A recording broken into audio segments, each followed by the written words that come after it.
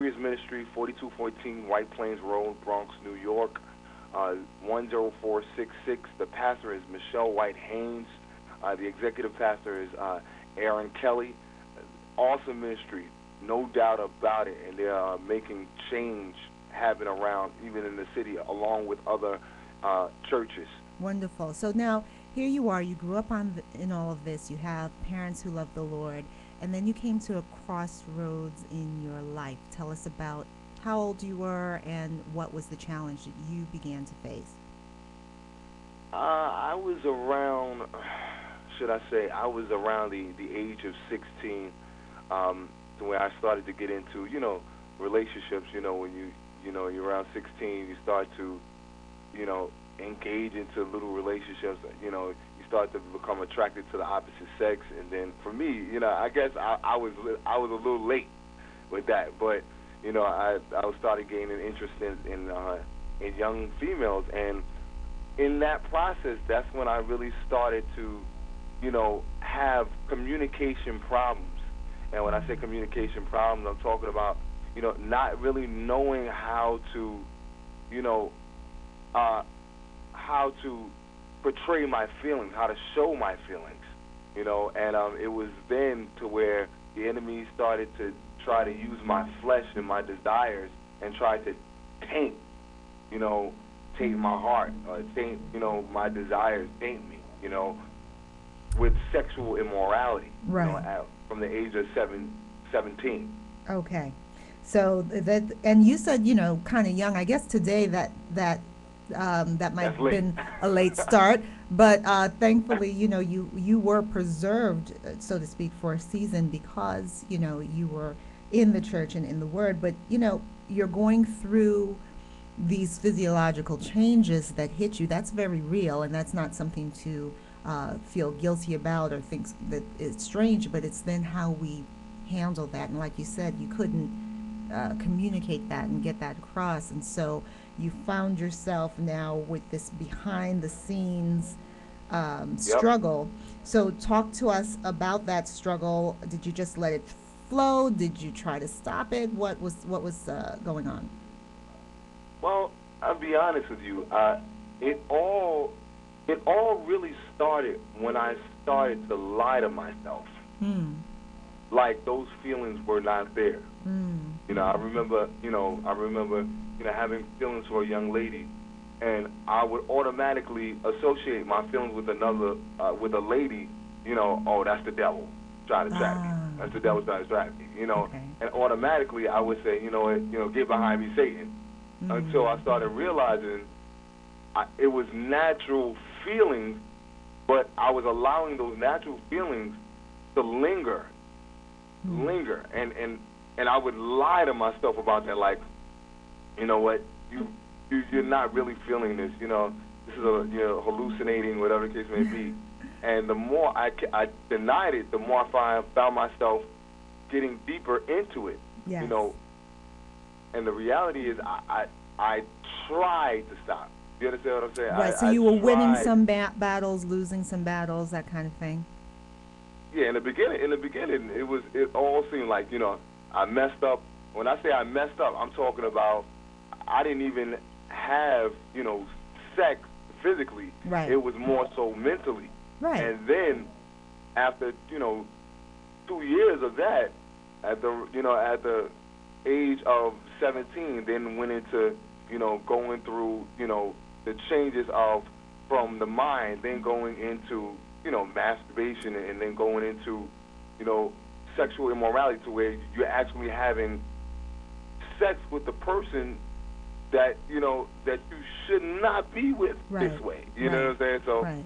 So there was a huge evolution between uh, the young man growing up in church that loved the Lord to this teenager who still loves the Lord but now cannot necessarily come to grips or know how to manage, um, you know, the physical desires that we all have as human beings. And you know, sometimes uh, when we come to the Lord, um, we're not really sure, we're not clear on what the cost is. So as I'm going to play this next track, and we're going to come back and hear more about your story, but I just wanted uh, those who are listening to know that, yeah, there is a cost, and we're going to talk more about uh, the joy that uh, is associated with that cost. We don't don't often think about it, but there is a cost.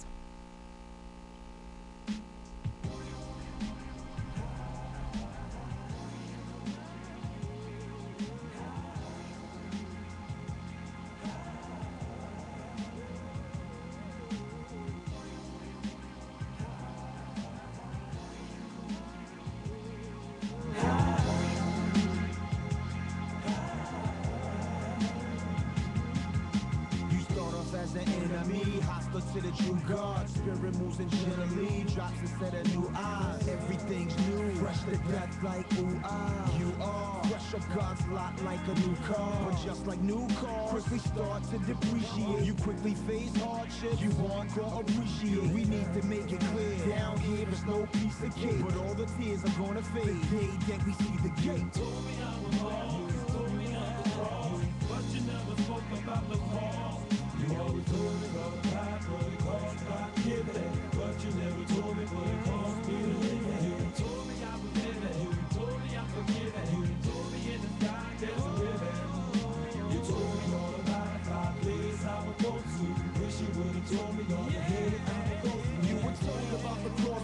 God's offer to ultimately alter you all together, awesome but old. However, somebody should have taught you what this means. The scene will get ugly abruptly, cause you just switched teams. versus all good, soon after it just seems mad cats are coming at you. Half of your friends leave, glad that your sins leave. But yo, what's this other thing? Happy you been clean, but yo, what's the suffering? Used to be the Mac, fly girls on a jack. Sweet nothing's kept me coming, my world was intact. Now it's different, ever since Jesus Christ slipped to my relationships. Cause you see, I stopped hitting. Girlfriends were saying, Yo, B, stop tripping. No, I said, next thing they eat, start dipping. I wish somebody hit me off of what it costs. This feels like death, like they injected me with liquid cross. You told me I was lost. You told me I was cross. But you never spoke about the told me about time. But you never told me what it cost me to live it. You told me I was living. You told me I'm forgiven. You told me in the sky there's a ribbon. You told me all about the five places I would go to. Wish you would've told me all the hate I would go through. Some trust Jesus Christ and it bankroll skies. Others trust and guess what? Yep, their bankrolls die. I ain't gonna lie. It's a paradox, parent of different people. Revealed that God's got a plan that apparently isn't equal. Through faith, you receive Christ as door and the key. You get life, but then you might lose your family. I gotta say, I cannot relate to how it would feel. For God to pick you, then your pops just kick you out of the will. When you're brought to the point where your doctrine shifts, it improves, and so you move to where your doctrines live. More in line with the scripture, now it's your option. You can shrink back or let the Lord fix all. I spend much time with your mind dwelling on Luke 14, 25 to 33. Or renew your steam, keep trekking. Remember the cross. Husband, kids, and wives, the second. Christ is first. That's the infinite cause. You told me I was lost. Told me I was cross. But you never spoke about the cross. You always told me about the path, but it cost giving. But you never told me what it cost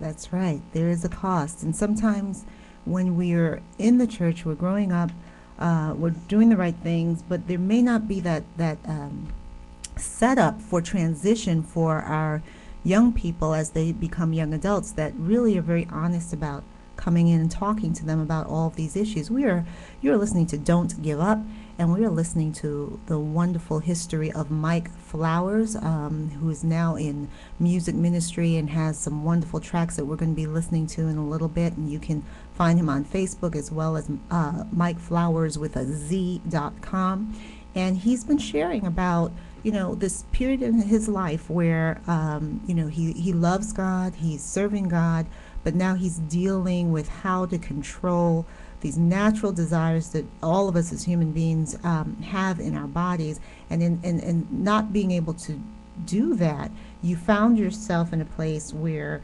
um, you you actually went into fornication. You w- went into having um, you know sex outside of marriage. And, you know, there's a verse by Paul that says, you know, that which I do not desire to do is the very thing that I do. Can you relate t- to that and, and talk a little bit about that? Yes, yes, that's that's definitely amazing that Paul would break that down. It's he doesn't use it as a, the scripture as a as a crutch, but he separates he separates the flesh from the spiritual desire. You know what I'm mm. saying? You have a desire to do the right thing, but your your physical body. And, and I was talking with someone the other day. It's amazing how when you tell your body no, hmm. it it physically makes you uncomfortable, Hmm. and you are not hmm. able to to medicate yourself the way the world does. You you are not able to, you know, you have to withhold, and the only hmm. way to do that and to be strong enough to do that is that you must pray. You must seek the face of God. That's the only way to do it. Well, you know, So- we, we're going to get into that. I want to talk, uh, I want to really have the uh, listeners get into this period and what you were feeling and what you were going through. So, um, you know, you met Latoya, and, uh, you know, you you guys basically uh, found yourselves in, in this um, this kind of intimate relationship that's reserved for Yes. marriage, right? What what steps or interventions happen initially? You know, because you know when that happens, you don't go skipping through the streets saying "Yay, hooray!" You know, it's you, you're really immediately Yeah. convicted by um, what you've done. So, um, you know, how did you handle that process? What did you do next? Um, you mean like after after it happened? Well, After we, we Just in it? terms of trying to find your way back out of it initially, you know, okay. because we know that Like, uh, you know, later on you found out even more information, but just initially, you know, who did, did you go to someone? Did you try to reach out for any kind of, you know, help? Uh, actually, God, God literally warned me a couple of times, and He Mm. warned me a couple of times. And no matter how convicted I was, and, and no matter how I tried to reach out, I did, I did reach out to my pastor. I did, you know, and she definitely spoke some wisdom into me, and she, I spoke, I spoke with even some of my older brothers within ministry. I tried to really, you know, open myself up to the wisdom, but it just came down to the point to where I had to really understand. What I did not understand was what I was giving myself up to. Mm. So you, I you know, I did not know. I knew what I was doing to God, but I didn't. I didn't know what I was doing to myself. That that's a very interesting point. And you know, the scripture there's a scripture in Corinthians that says that out, out of all the the sins that we commit, the sexual act of fornication is done is the only sin that's done against ourselves, right? Yes. And I think a lot of us don't really understand what that means. You know, so you you did have people you know sit down and and kind of bring you into a realization of who you are and and try to get you up to a level of maturity. Um, but at the same time, you're saying that it's it's up to you to to make that decision in terms of pressing towards towards the mark. and it's it's it's it's not just about you know knowing the right thing to do, but it's about having the understanding of why you, of why you you ought to live right, of why you ought to be pure, why. The, what I at when when everything hit the fan, it was it was so it was like an epiphany for me. It was like, wow, like really the enemy used our passion against us.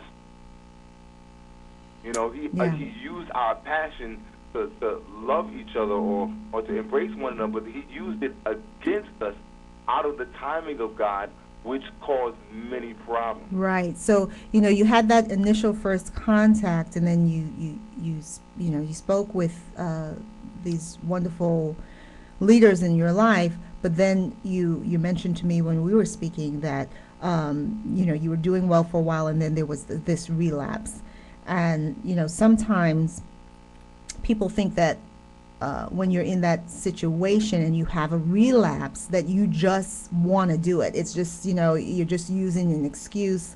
But there's actually, there is a real realization on your part, on the person's part of what's happening, but there's no ability, would you say, to, to stop it or to do the right thing? it's not it's not it's I will always say it it's not a there's not a deep enough understanding. There's a like there's an understanding that that that someone has when they never turn back. That one who continuously turns back. Hmm. There's an understanding that one has achieved. There's a that's different from one that knows the right thing, that wants to do the right thing, that's trying to do the right thing, but does not have that same understanding. He doesn't have that depth, that relationship, Okay. that connection that would keep them. You have a track called The Hills. Um, I'm going to play that next. I want you to just um, talk to us about those lyrics and what you were trying to relay there. Yes. Uh, the Hills, uh, basically, it came from a place in my life to where I really felt like I, I was done. I felt like it was over for me. I felt like out of all of the time and all of the service that I've done for the Lord, I felt like it all went into for naught. Like it didn't even matter anymore. It felt like I was being buried under the rubble with life circumstances. I I didn't know how I was going to be the father that I am today. That God has has raised me to be today. I didn't know how I was going to, you know, work a job while trying to pursue what God planted, you know, planted me on this earth to do. You know, ministry, even also with music. So many dreams and so many aspirations, and I'm I was sitting in the middle of my room, crying, bursting out, like Mhm. God, I don't know where to start. I don't know how to get back. I mean, I know that you know that you are able to forgive me and that you have forgiven me, but people don't forget. Right. And, you know, we're going to pick up on that when we come back because that's a very deep portion of all of this. But I want to get into this track. It's, it's, it's very powerful. Let's take a listen. My flowers, yeah.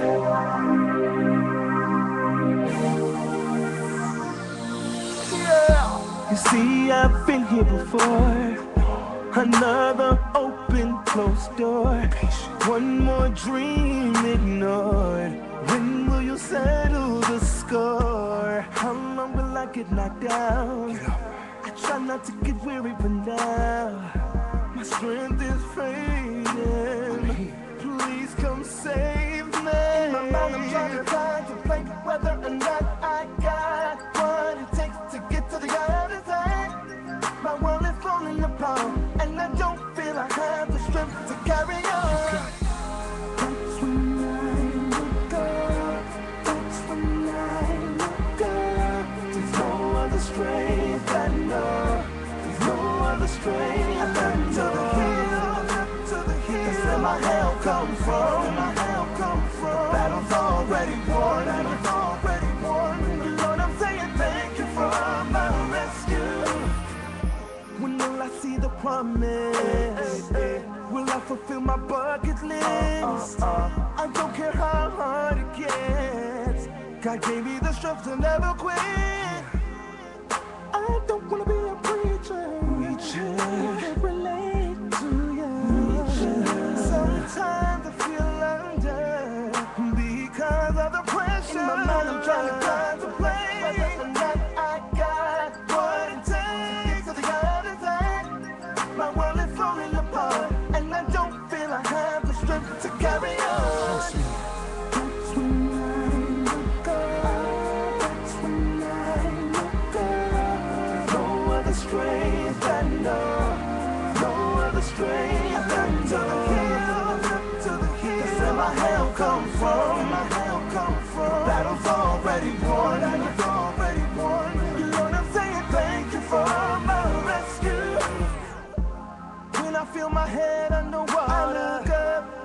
can't see my way out, I look up. When everything is crashing down on I me, look up. when all hell is breaking loose on I me,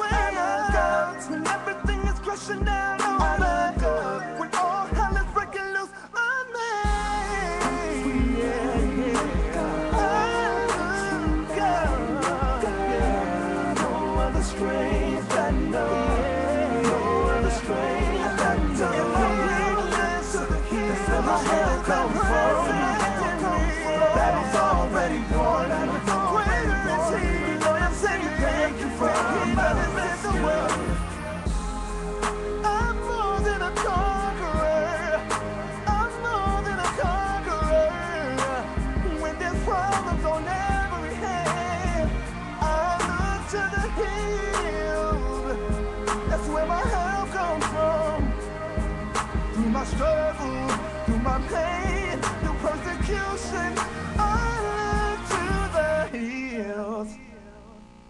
I look to the hills from where my strength comes from. That's from Mike Flowers. Excellent music, but birthed out of pain, birthed out of real life experience.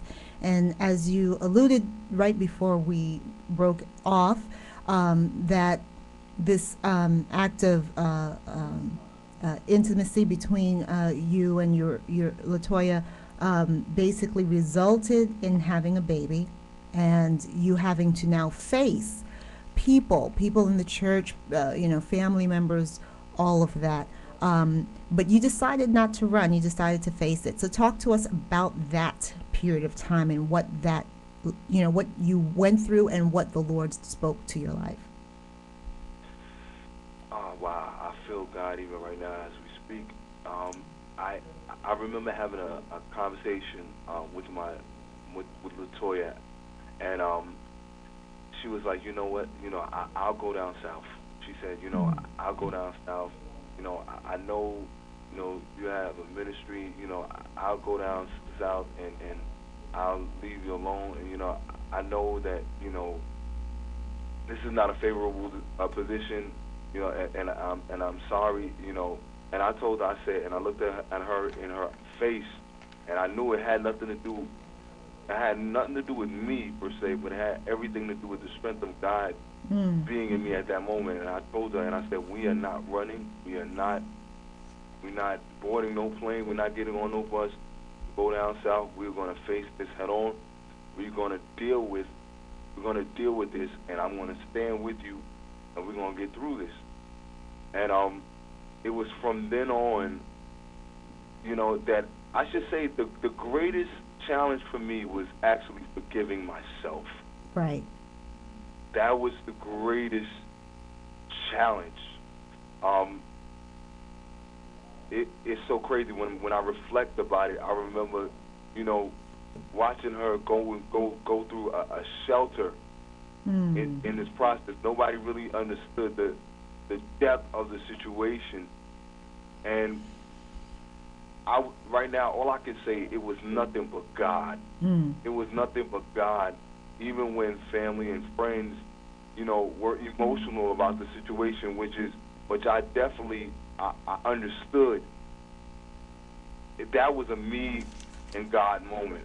That was an us and God moment. Mm. That if it had not been for the Lord who was on our side, Right. it would have been a wrap for real. Right. And, and, and you s- said something very interesting to me. You said that God covered you from the hand of the enemy. How did you see that come into play? What did that look like despite all the stuff that you were actually going through and facing? Well, the reality is the reality of it all is besides the the spiritual and besides the you know the the look of of being you know immorally you know you're embarrassed. Besides that, we we we would have been totally on the street. We Hmm. would have been homeless. Okay. You know, I had literally uh, gotten you know gotten a job and then was laid off Hmm. right when my ch- child came and I was working for the city and and got laid off, we would have been out in the cold if God did not even rectify even the issue with my family. Like God had to literally do some knitting back together, and He did Okay. it in such a great timing. Wow. And and you also mentioned that there were people when this initially happened that were actually brought in your life to tempt you further. Yes. Yeah, there were some people uh, in my life that the enemy was like, you know, you know it's not, you know it's not them, but you know it's the spirit of the enemy that is like he'll use anything. He said, you know what, you went this far, why, you know, you should just go further. You should, you know, don't you don't have to worry about living right anymore. You know, your name is already tarnished. Right. Right. Your name is already messed up. You know, you have, you know, uh, some young people looking up to you that you, you failed them. You failed leaders. You failed God. Mm. So why not go further? Wow. But it was God. It was God that kept me in my right mind. Yes. My right mind that was like, you know what? Absolutely not. I will. My strength will be made perfect in you right now. So it, it was. It was. It was nothing but God. And you had to speak to yourself daily. That's a, it's that's a daily thing when you have to get up out of bed and Oh, face yeah. each new day. And you mentioned to me that there was a song by Dee Hattie or Deitrick Haddon, uh, and I'm going to just play a few minutes of that right now and um, come back and we're going to go into the shift and see what God does when you're willing, even in the worst of mistakes and circumstances, to submit yourself to Him, what He can do.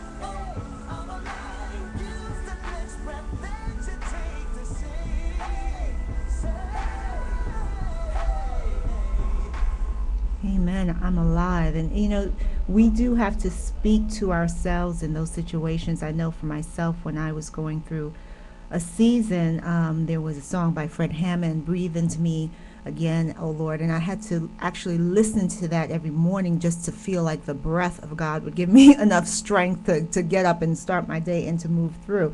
So you were brought to this place. Um, would you say that where you actually had to deal with the scars that sin had caused in your life. Say that again. I'm sorry. That you were brought to a place, and I know, I know this is this is so much uh, when you realize what God has done and what He's brought you through, but when you know you actually have to deal, there's a place where we actually have to deal with the scars that sin produced in our life. You know that dying to flesh daily piece. You know. That that that literally um, that dying the flesh. Because you know the reality is when you fall those those scars although you may have scars those cut heal. Those cut they they really heal. But the reality of one thing you don't want to be healed from you don't want to catch amnesia. Mm.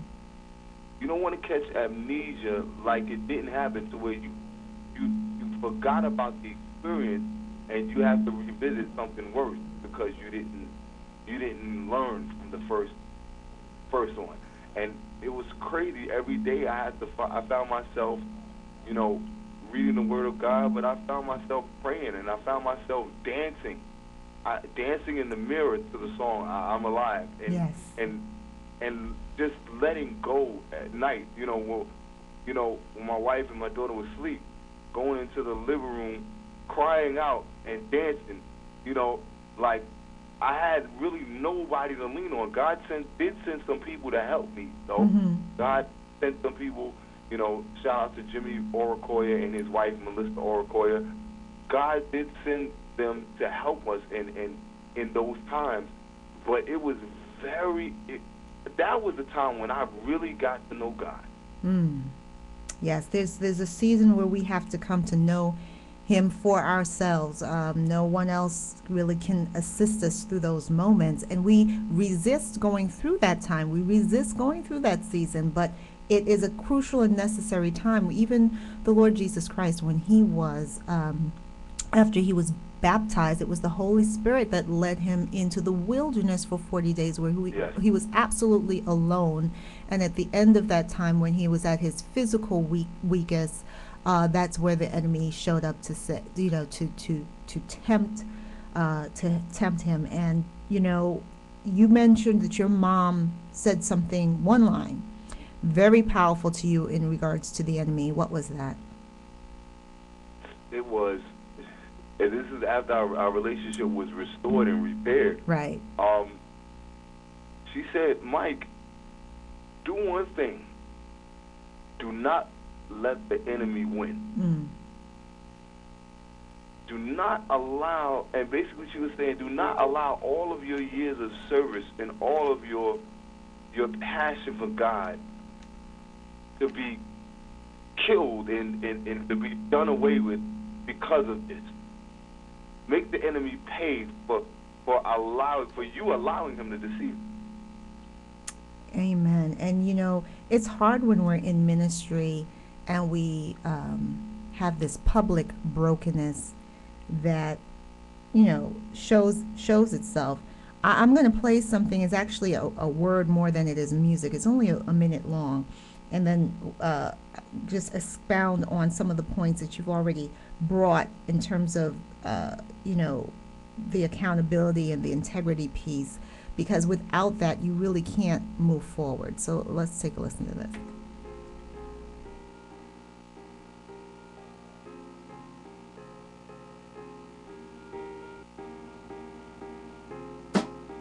a lot of people blame a lot of things on Satan.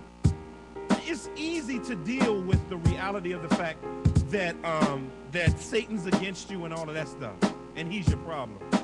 But there's a whole nother category, and issue to let soak into you when it's not Satan who's your problem, but God who's your problem.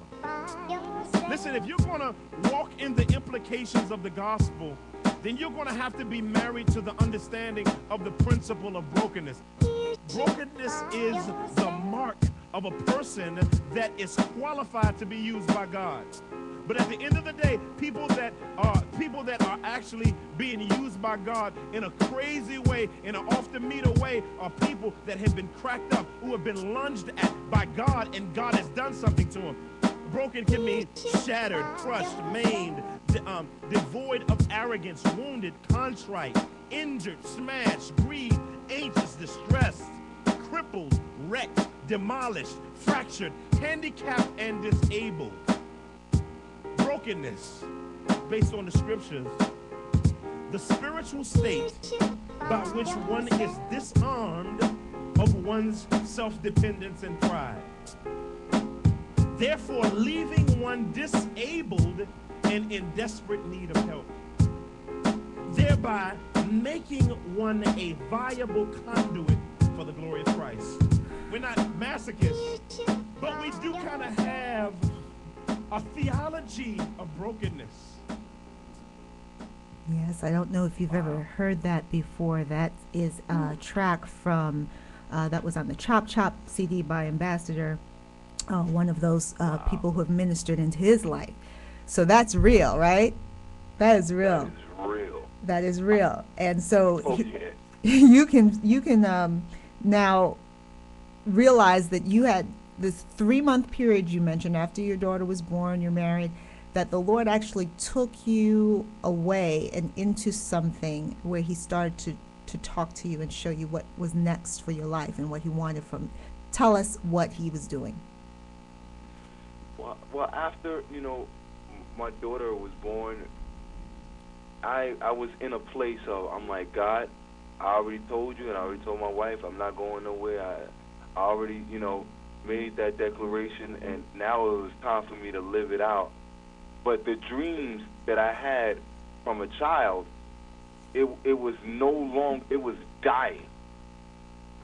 It was dying at that present moment because of because of the responsibility that I had to take on. And it was dying, although I had the heart to do it. I was like, God, I don't know how you're going to do it. I can't even think of, my mind can't even plan, pan this out right now. Mm. And God said, you know what, let me do something. Let me open up a door for you.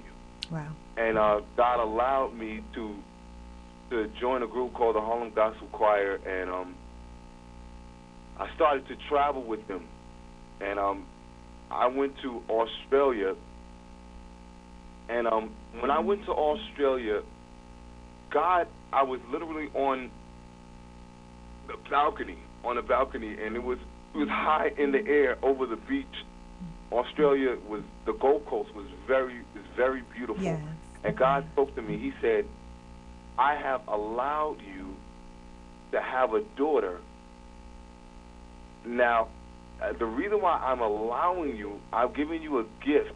I'm giving you a, a, a gift, even in a crazy place, so that you would understand that you would have to be accountable to something and to someone.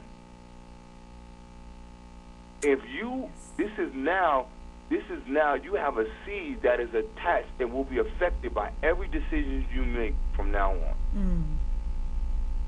But in this, I want to take you across the world to show you just a glimpse of where I'm taking you and how I want to use you.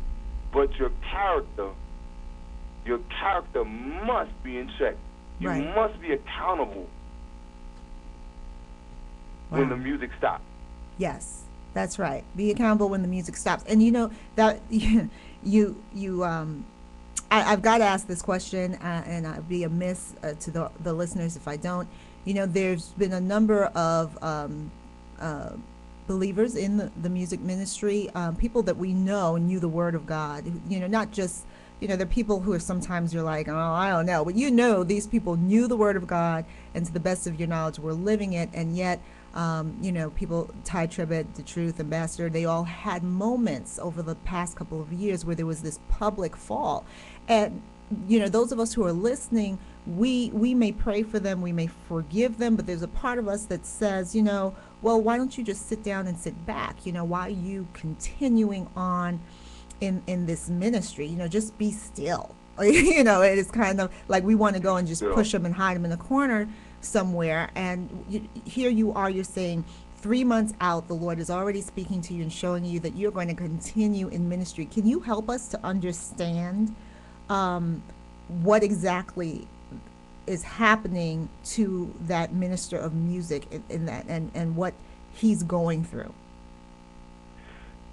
One thing I'm so grateful, I'm so grateful for a leader such as Pastor Michelle White Haynes that through that process, she even she she did not allow me to sit down too long.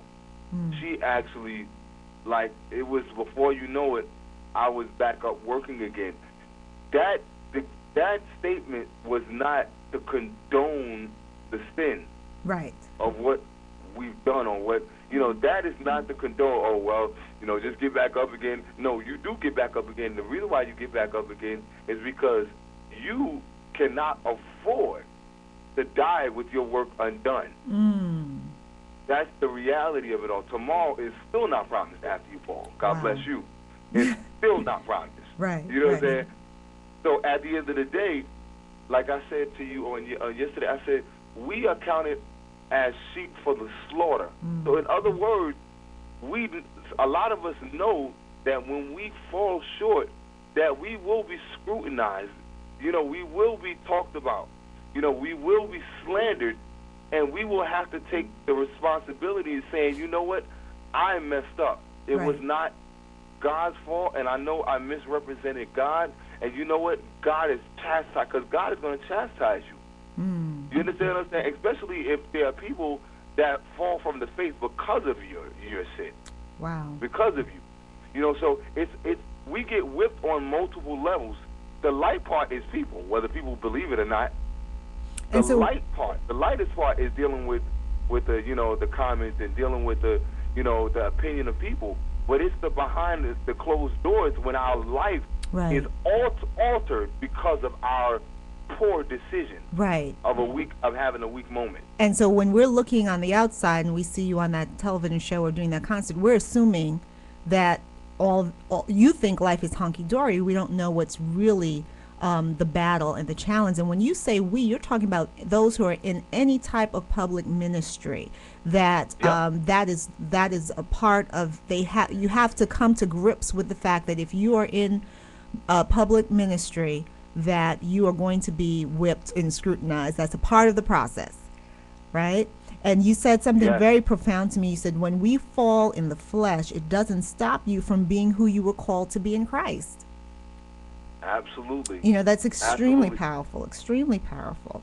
Um, I, I'm trying to, I'm looking at our time here. and I, want to get so, so much in here. Why don't you talk to me about how, even within what we're saying, the enemy tries to, uh, you know, come in where your goals are concerned, uh, even when you try to move on and press on for the Lord.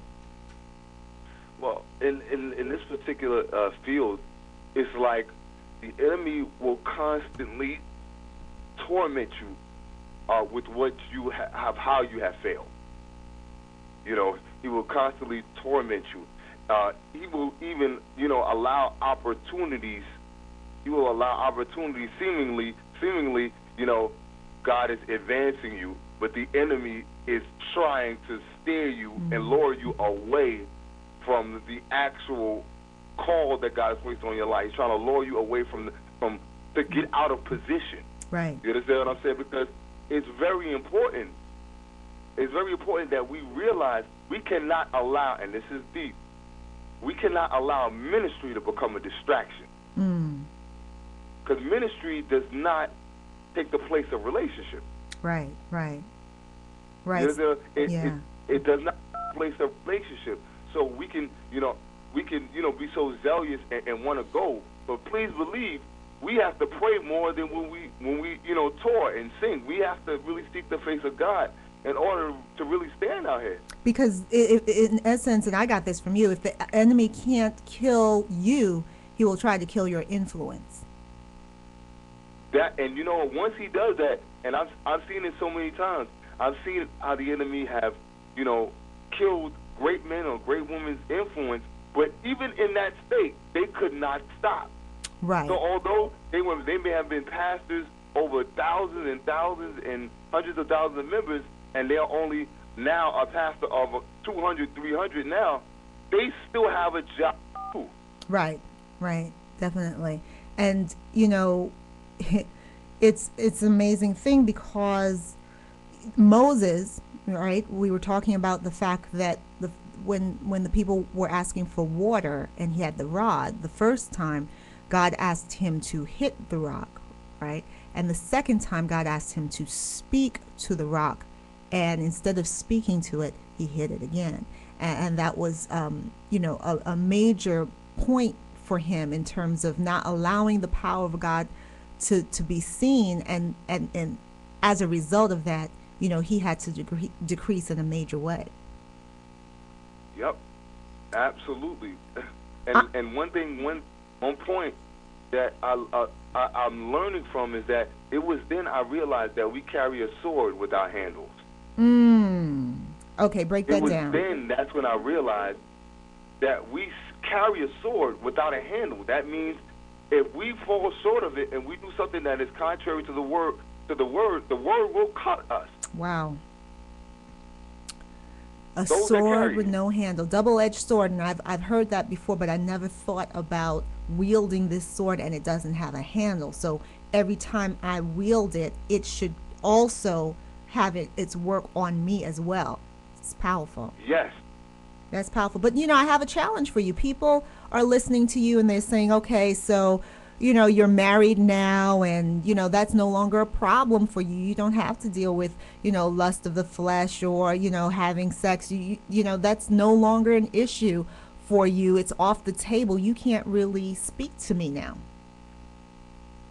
And I'm so glad that I'm able to tell everybody that's listening.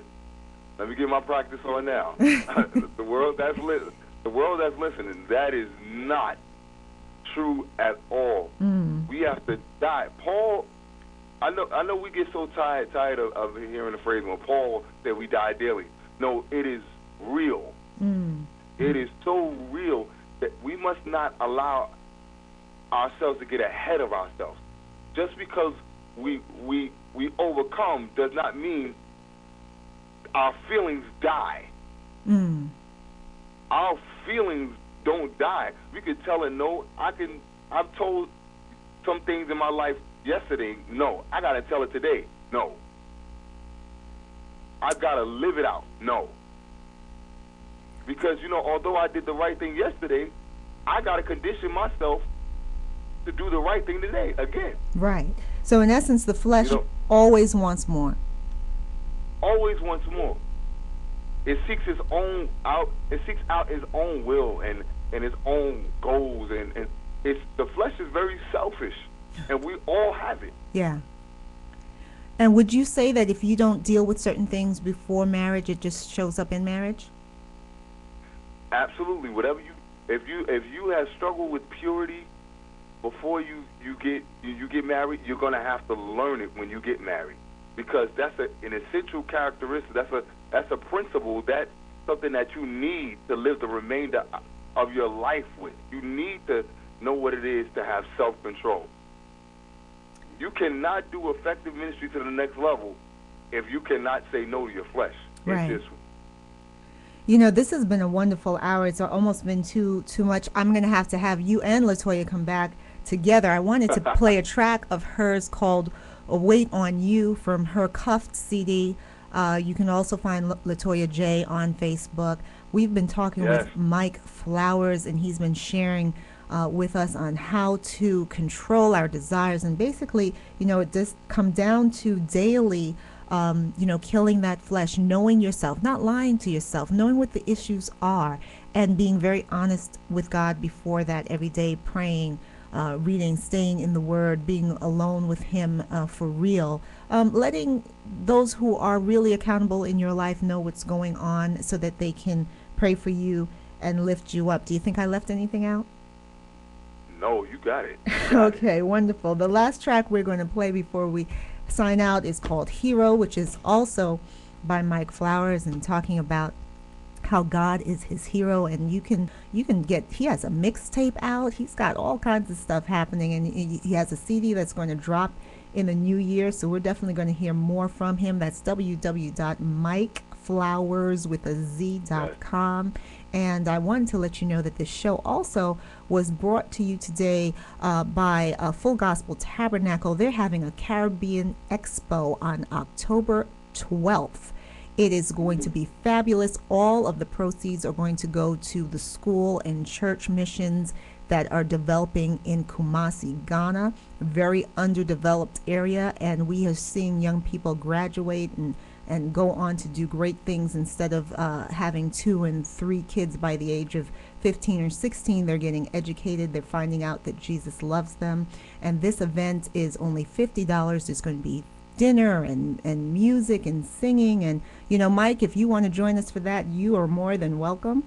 And uh, if anyone wants to find out more about that, please call 718 515 6463. That's 718 515 6463. That's the Caribbean American Expo. You're going to have dinner and entertainment October 12th, starting at 7 p.m., going through to 11. Um, we're going to go out now with this wonderful track, and I look forward to hearing from all of you uh, next week, Saturday, where we will continue 9 a.m. to 10, encouraging each other in word and song on Don't Give Up. This is the hero. There's so much going on in my world. alone. But I know, whenever you show up, you show up on time. And I want you to know that I love you. God, you're my hero.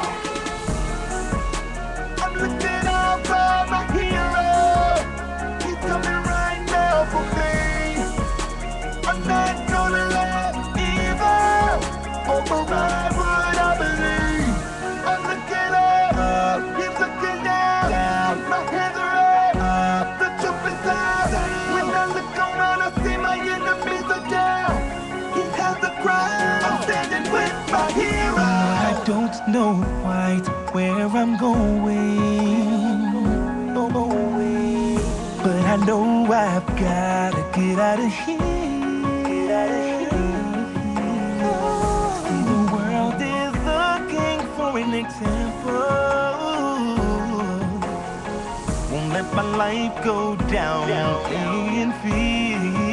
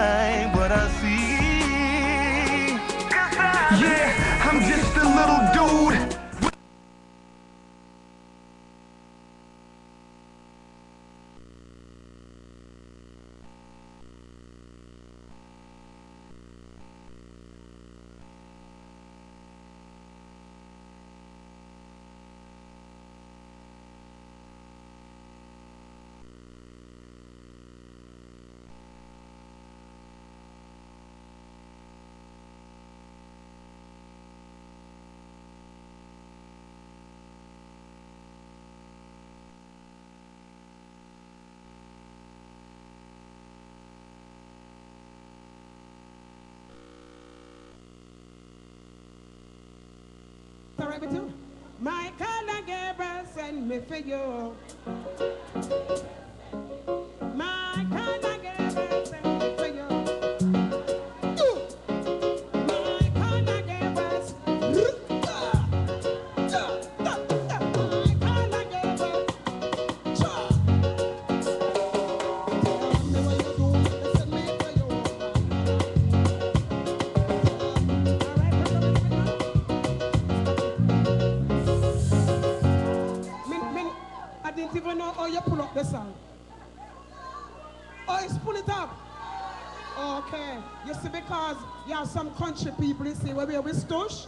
But don't say those things when we say amen, praise God, and put it again.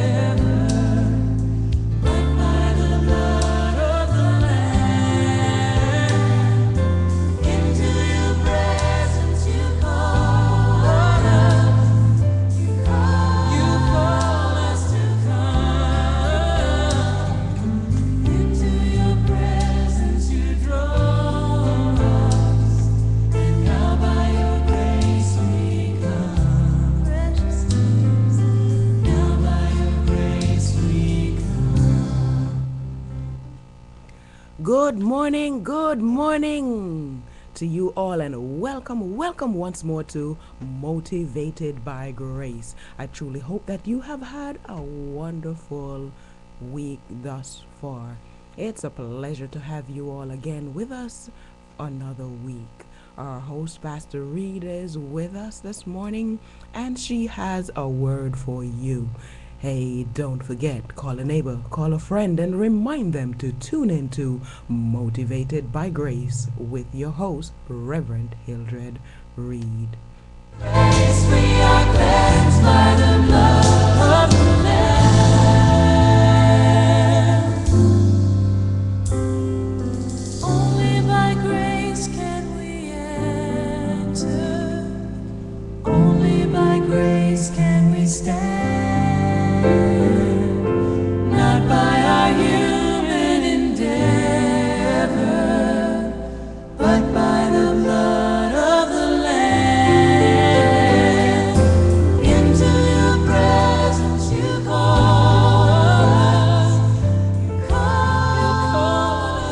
Heavenly Father and our God, we give you thanks for this morning and for, uh, for the opportunity to proclaim and declare your word to all who are listening by radio and watching by internet.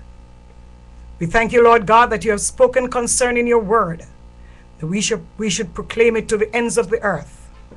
And we thank you, O God, that you have also said that so shall your words be that goeth forth out of your mouth. They shall not return to you void, but they shall accomplish that which you please and prosper in the things whereunto you have sent them. We thank you for the opportunity to proclaim your word this morning through this broadcast. And we pray, O God, for those that are listening that they will be touched by the power of grace divine. And Lord God, that you in turn will motivate them to come closer to you, to receive of your grace and your mercy and run the race with patience, looking unto you, Jesus, the author and the finisher of our faith.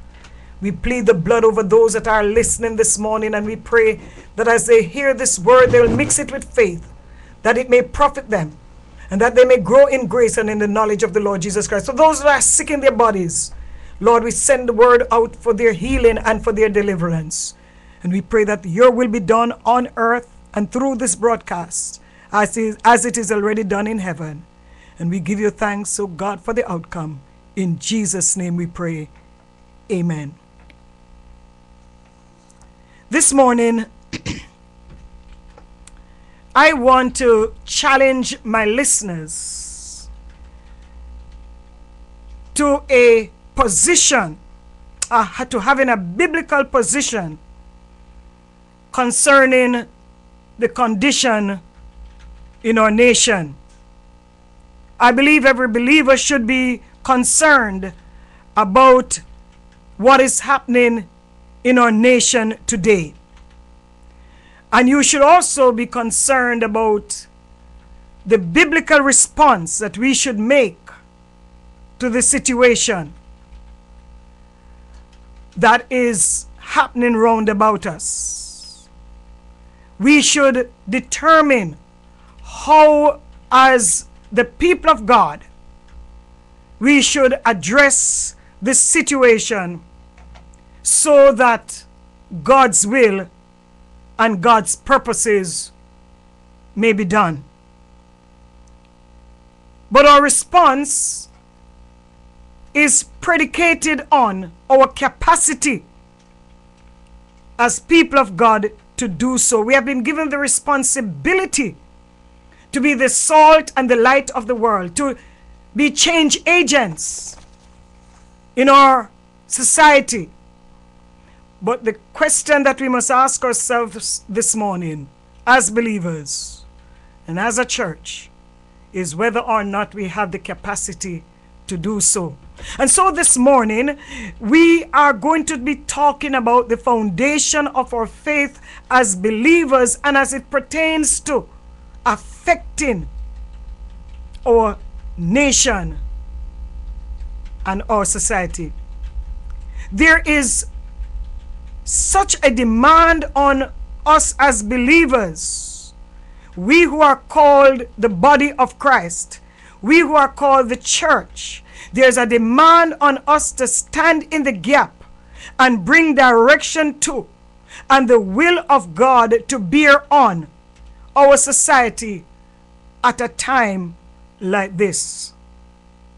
Our society is like a train traveling at a fast speed that is being derailed because the tracks have become warped, broken, disconnected, out of alignment, and even dislocated. As a result, we're seeing perilous times on our land. And the Bible did prophesy that there would be perilous times befalling us in these last days. But the perilous times do not come automatically, they come when we violate the principles of God. And when the principles of God are violated, we create an opportunity for chaos and lawlessness and ultimately attract the judgment of God. A train cannot be derailed unless there is a problem with the tracks or the train or the way in which the train is driven.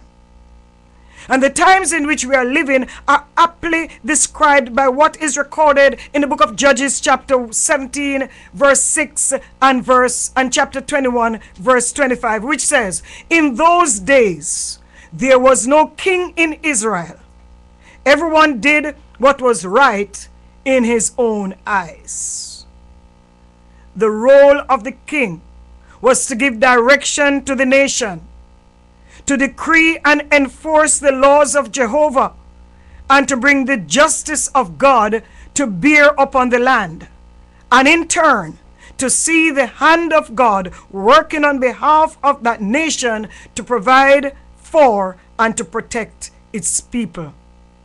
And we are seeing a similar situation today as is described in the words of Judges chapter 17 verse 6 and chapter 21 verse 25 the word of the king is not being declared and obeyed regardlessly.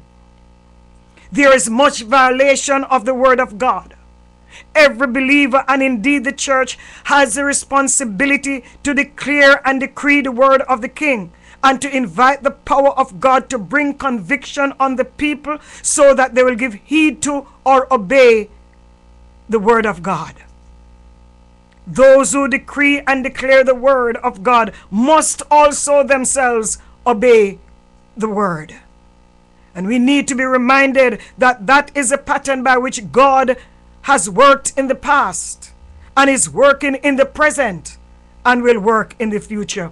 It is a responsibility of the believers to work the pattern and work in accordance with the pattern so that the things that God has planned for our nation can come to pass. It is time for us as believers and as the Church of Jesus Christ to realign ourselves to the Word of God. No one been excluded. In Revelation 1, verses 5 and 6, we read these words, and I quote To him who loved us and washed us from our sins with his own blood and made us kings and priests to his Father. To him be glory and dominion forever and ever. Amen. The Bible says, having been born again, we are kings and priests unto the Father. A king decrees and rules. A priest intercedes, mediates, and offers up worship to God. And as kings, we decree and declare the will of God for our nation. And as priests, we intercede before God for our nation, praying that the will of God be done. We pray that man will turn to God and that God would delay his judgment on the land as a result of the sins of the people. And also, as priests, we offer up worship to God with all our hearts, with all our soul, and with all our strength. And we see a beautiful illustration of the role of the priests as an intercessor in Genesis chapter 18 when Abraham interceded before God for the people of Sodom. And that provides us an example of how necessary and important intercession is and must be assumed as our responsibility as the people of God. John Wesley says God does nothing except in answer to Bible believing prayer.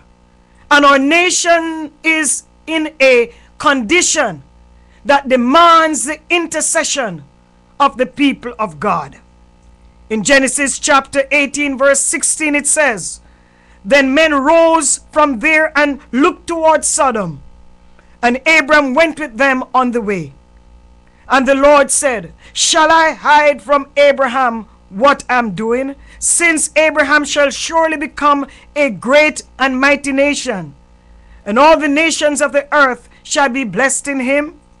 For I have known him, in order that he may command his children and his household after him, that they may that they keep the way of the Lord, to do righteousness and justice, that the Lord may bring to Abraham what he has spoken to him.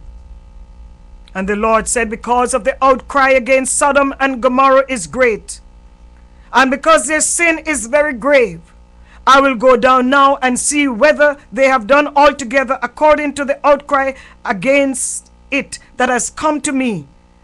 And if not, I will know. Then the men turned and from there went toward Sodom.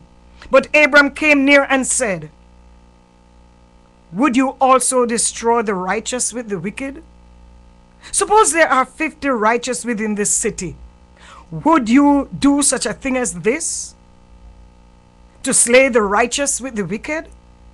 So that the righteous should be as the wicked? Far be it from you. Shall the judge of all the earth do right? So the Lord said, If I find in Sodom fifty righteous within the city, then I will spare all the place for their sakes.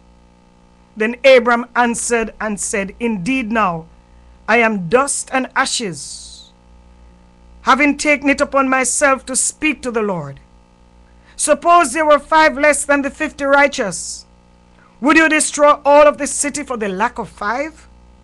So he said, If I find there forty five, I will not destroy it. And he spoke to him yet again and said, Suppose there would be forty found there. So he said, I will not do it for the sake of forty. Then he said, Let not the Lord be angry, and I will speak. Suppose thirty should be found there. So he said, I will not do it if I find thirty. And he said, Indeed, now have I I have taken it upon myself to speak to the Lord. Suppose twenty should be found there.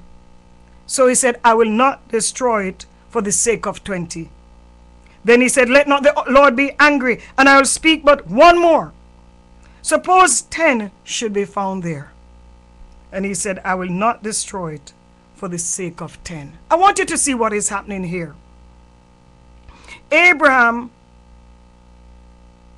intercepted the plan of God to destroy the nation of Sodom because of the wickedness that pervaded the society.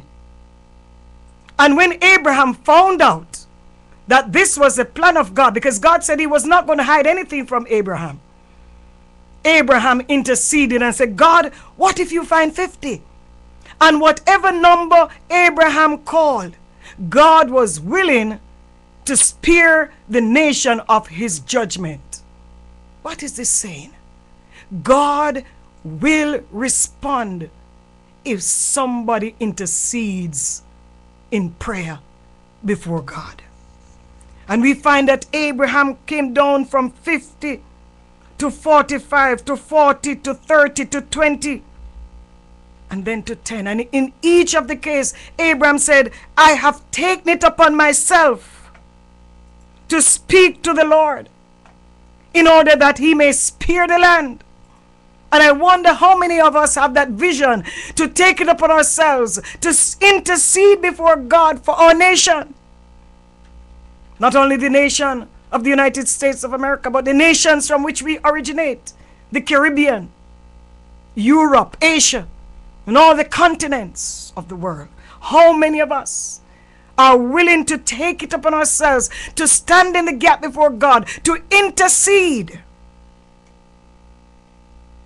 believing that the Lord will hold back judgment.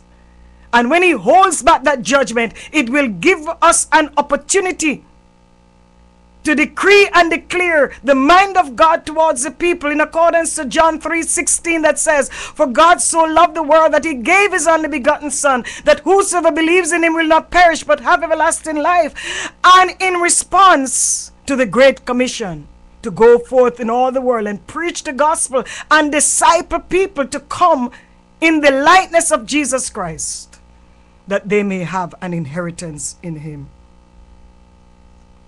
and so Abraham came down to 10. And unfortunately, 10 people were not to be found. 10 righteous people were not to be found in Sodom. And the Bible says, So the Lord went his way as soon as he had finished speaking with Abraham, and Abraham returned to his place. I believe if Abraham had gone down to five, God would have granted Abraham his wish. And what Abraham did has set the pattern of intercession for us as believers in our capacity as priests unto God. We are inter- invited to intercede as the people of God, not only for averting God's judgment, but for the release of God's grace upon the land.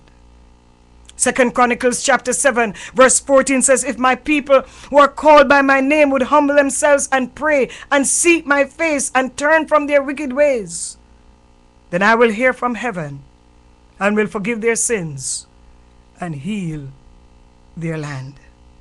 This same Abraham also provides us with a picture of worship when he was called to offer up his only son as a sacrifice to God on Mount Moriah and he willingly followed the instructions of the Lord until the Lord intercepted. And this is what the Lord says Now I see that you fear God, in that you did not choose to withhold your only son from me. Many of us are born again. We are saved.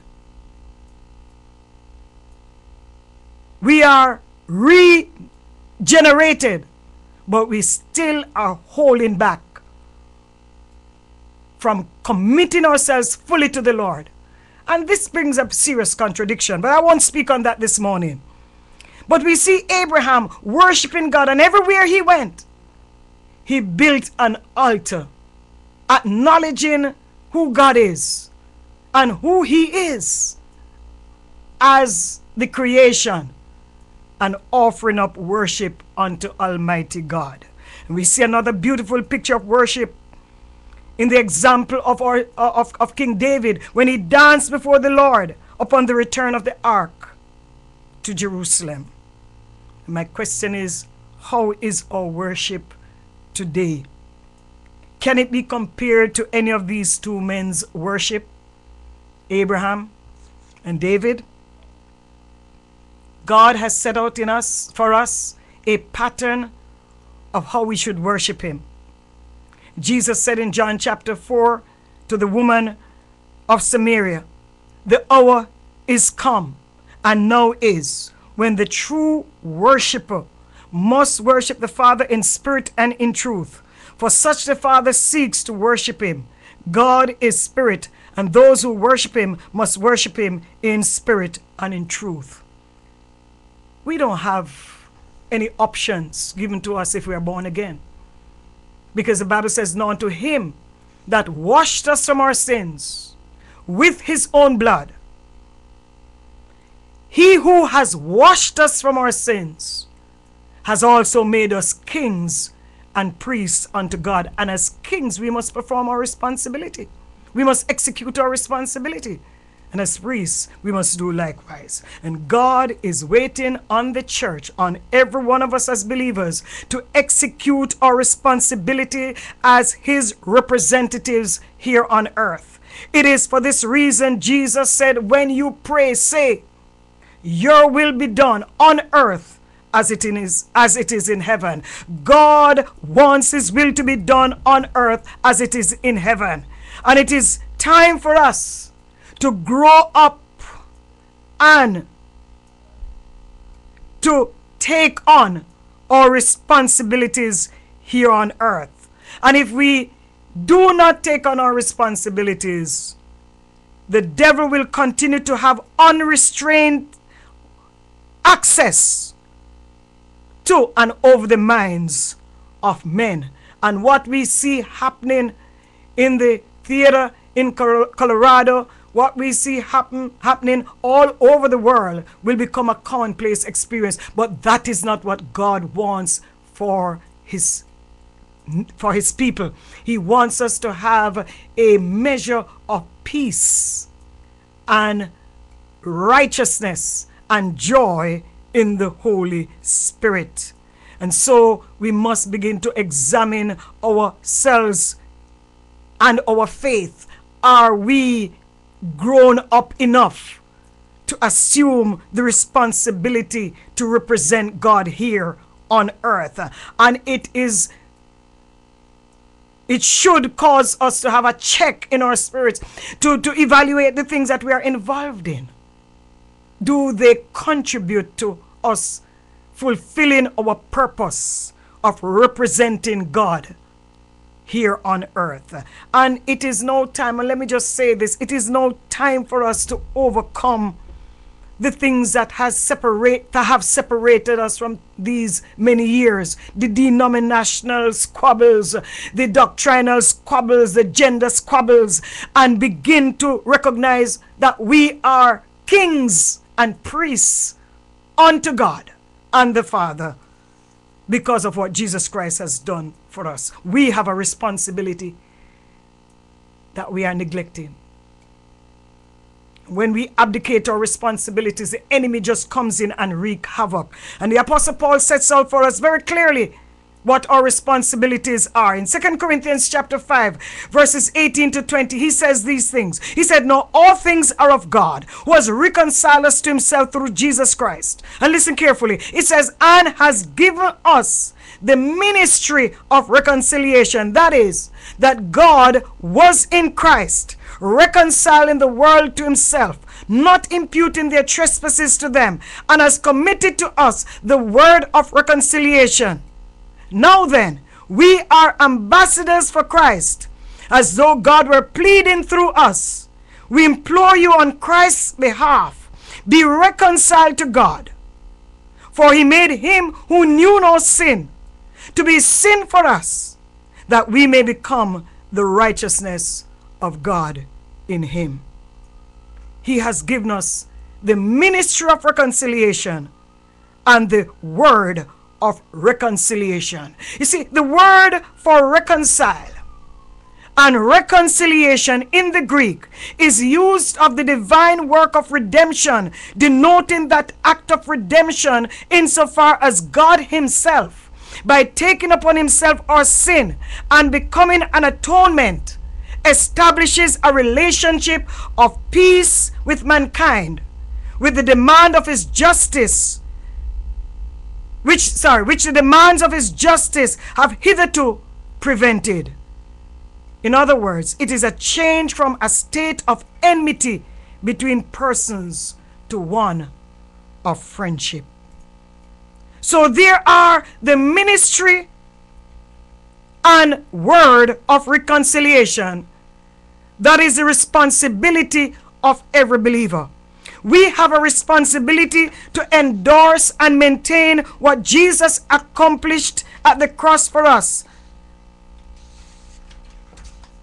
so that we can be effective witnesses here on earth as God's representatives. In other words, what we do, how we live, and how we conduct ourselves must all together reflect who Jesus is and what his mind is towards people. And John 3:16 tells us what his mind is towards people. It says for God so loved the world that he gave his only begotten son that whosoever believes in him should not perish but have everlasting life. Verse 17 says for God did not send his son into the world to condemn the world but that the world through him might be saved. And then he gave us his the, when he gave us a great commission he is entrusting to us the word and ministry of reconciliation, wherein God wants people to be redeemed to Himself, to be reconciled to Himself through the blood of Jesus. And the word of reconciliation is that God has accepted the sacrifice that Jesus Christ has paid on the cross and offered on the cross for all mankind. And by faith and through His grace, we can be children of the Most High God. The ministry and the word of reconciliation are important preoccupation for every believer. It is not just for the clergy, it is for everybody. And incidentally, you don't see clergy in the Bible, you see sons of God. And we have specific offices also that I mentioned. And so all of us must become involved in the ministry of reconciliation, in what we do, in how we live, and how we conduct ourselves before people. In Ephesians chapter 2, verse 14 and 16, Paul says a little more about this ministry and word of reconciliation. He says, For he himself is our peace, who has made both one and has broken down the middle wall of separation, having abolished in his flesh the enmity that is the law of commandment contained in ordinances, so as to create in himself one new man from the two, thus making peace, and that he might reconcile them both to God in one body through the cross, thereby putting to death the enmity. And he came and preached peace to you who were afar off and to those who were near. For through him we both have access by one Spirit to the Father. This is tremendous. And if you have a revelation of this, then you're going to understand the necessity for you to so arrange your faith, your life, your conduct, your behavior, your thinking to line up with the Word of God, that this may become a reality in your home and in your church as well. And while this is referring to the Jews and the Gentiles, I want to say that it is also the MO or the principle by which God wants us to operate here on earth as his representatives. So for us to be effective in our ministry of intercession, we have to also be effective in our ministry of reconciliation, which demands and dictates that we be not only reconciled to God, but we be reconciled to each other as well. And there is an urgent need for us to address the, the issue of separation among us as believers, the evidence of which is the many divorce and separation in marriages, broken marriages, church splits, and all of these are contrary to what Jesus did when he brought us together through his blood to be one in Christ Jesus. And because we are not addressing this, our prayers are not effective. James 5:16 says, "The effective fervent prayer of a righteous man avails much." If husbands are separated from wives, how can they pray as one? If there is animosity between believers, how can they pray as one, regardless of where they're praying from.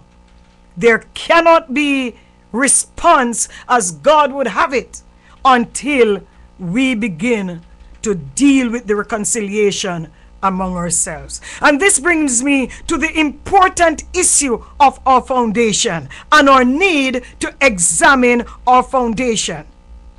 If we cannot be reconciled to each other, it suggests that we have a foundation problem. The foundation is the most important part of any building because it is a foundation that will determine the amount of pressure the building can endure and withstand. It is a foundation that will determine the capacity of the building and its longevity. It is a foundation of the church that will determine the fulfillment of her purpose.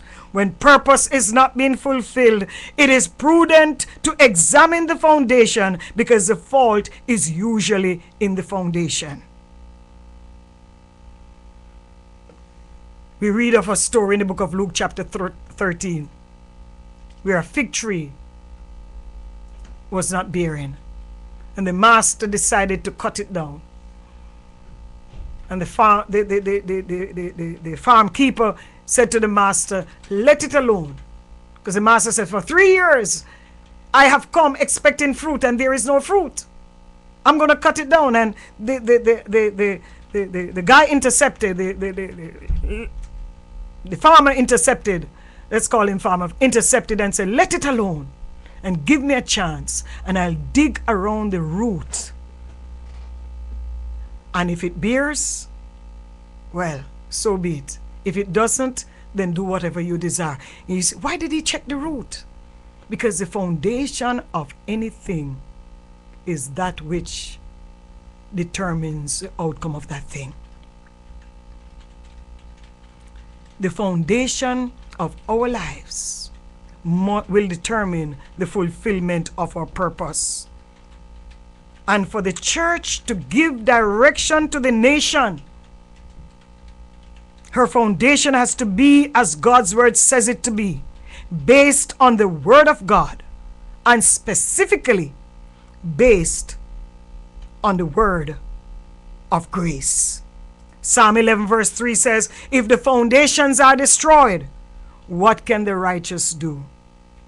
Our foundation is important and has to be brought into questioning as we examine the conditions of the nature and seek to address it in a way that God can be glorified and people can be brought into salvation and experience the power of God in their lives.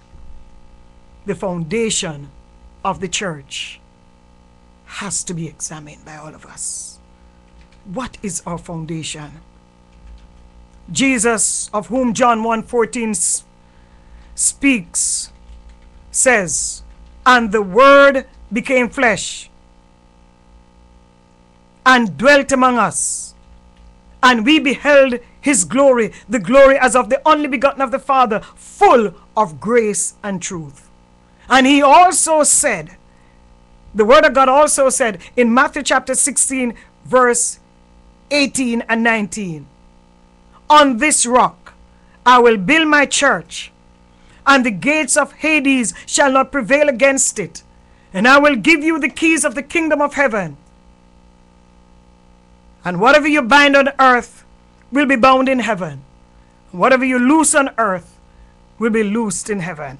And so when you put these two scripture passages together, you come to realize that the foundation of the church is Jesus Christ Himself, the Word that is full of grace and truth. So it is that foundation, the foundation of Jesus Christ, full of grace and truth, that will make us effective in our representation of Himself, Jesus Christ, and our representation of the kingdom of God, bringing the power and presence of God to bear upon the land, which in turn will cause men to call upon the name of the Lord and be saved. And we see a glimpse of this in the book of Acts. How, because the foundation of the church of Jerusalem, upon the day of Pentecost and after that was built upon the grace of God, the word of his grace, Jesus Christ, no persecution could prevent the salvation of souls. No persecution could have hindered the power of God. We see Peter and John going up to the temple to pray, and they saw a man at the gate beautiful who asked of them alms. And Peter looked at him and said, Look at us. And the man fixed his eyes steadfastly on him, and he said, Silver and gold have I none, but such as I have give I thee. In the name of Jesus Christ of Nazareth, rise up and walk. And many of these wonderful, marvelous signs and the power of God demonstrated in the ministry of the apostles caused them to be persecuted, to be put in prison. And because of what they did in preaching the gospel, people in Jerusalem had to take note. They arrested them, put them in prison, but prayers were made for them. And God sent angels and released them. Why? Because their foundation was built on the word of grace upon the Lord Jesus Christ, and nothing can shake that foundation. The winds will come, the storms will blow, but that foundation will remain firm, unmovable, because it is built on the impenetrable rock of God's grace. Oh, praise the name of the Lord, the marvelous grace of our loving Lord, grace that exceeds our guilt and our shame. Yonder on Calvary's Mount outpoured, there where the blood of the Lamb was slain. And I want to take you this morning to Acts chapter 2 as I re- am ready to wind up. How on the day of Pentecost, the foundation of the church was established and what took place as a result after Jesus Christ ascended into heaven and at his instructions, the Bible says the disciples returned to Jerusalem and went to the upper room to wait for the promise of the Father, the promise of the Holy Spirit. And the Bible said they all continued with one accord in prayer and supplication with the women and Mary, the mother of Jesus, and with his brothers. And Acts 2, verse 1 says, When the day of Pentecost was fully come, they were with one accord in one place. And suddenly there came a sound as of a mighty rushing wind, and it filled the whole house where they were sitting. Then there appeared to them divided tongues as of fire, and one sat upon each of them. And they were all filled with the Holy Spirit and began to speak with other tongues as the Spirit gave them utterance. The Bible continues to say that those in Jerusalem were amazed at what they were seeing and hearing.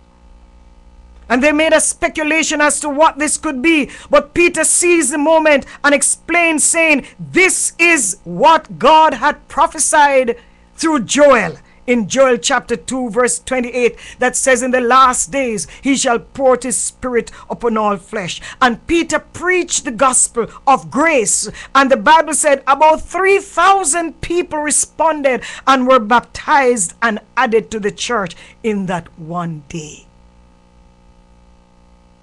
3,000 people.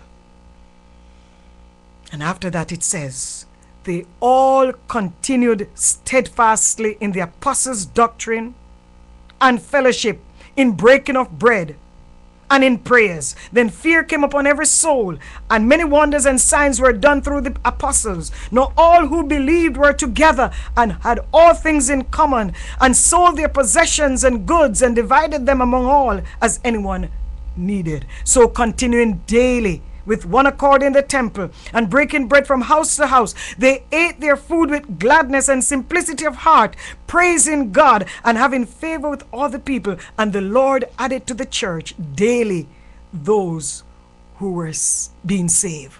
No wonder the songwriter said, Lord, bring back those happy days when the Holy Ghost fell in every place, when the laugh of God was seen on every face. Lord, bring back those happy days when the Holy Ghost fell and people were convicted of their sins and came to know Jesus Christ as their personal Savior and were added to the church daily. Now, the one thing that all the believers had in common, this is my belief, was the Spirit of grace. The Bible said the Holy Spirit sat upon each of them. and they transferred the power of the Spirit to those who were listening. 3,000 got saved. And the Bible said they continued steadfastly together with one accord in one place, having all things in common. The one thing they had in common, which they did not negotiate, was the Spirit of grace, who gave them direction and guidance as how to live in spite of their differences, in spite of their gender, in spite of their background. And this is what we need in the church today. This is what we need in the homes today. This is what we need in the society today. And because of the Spirit of grace, working in the lives of the people, there was a manifestation of His presence and His power. And it caused an atmosphere to be created whereby others got saved and were added to the church day after day. And with one more added to the church, it means that Satan had one less in his kingdom. And with the maintenance of the atmosphere of grace, the presence of and the power of the Holy Spirit continued to be manifested and God was glorified.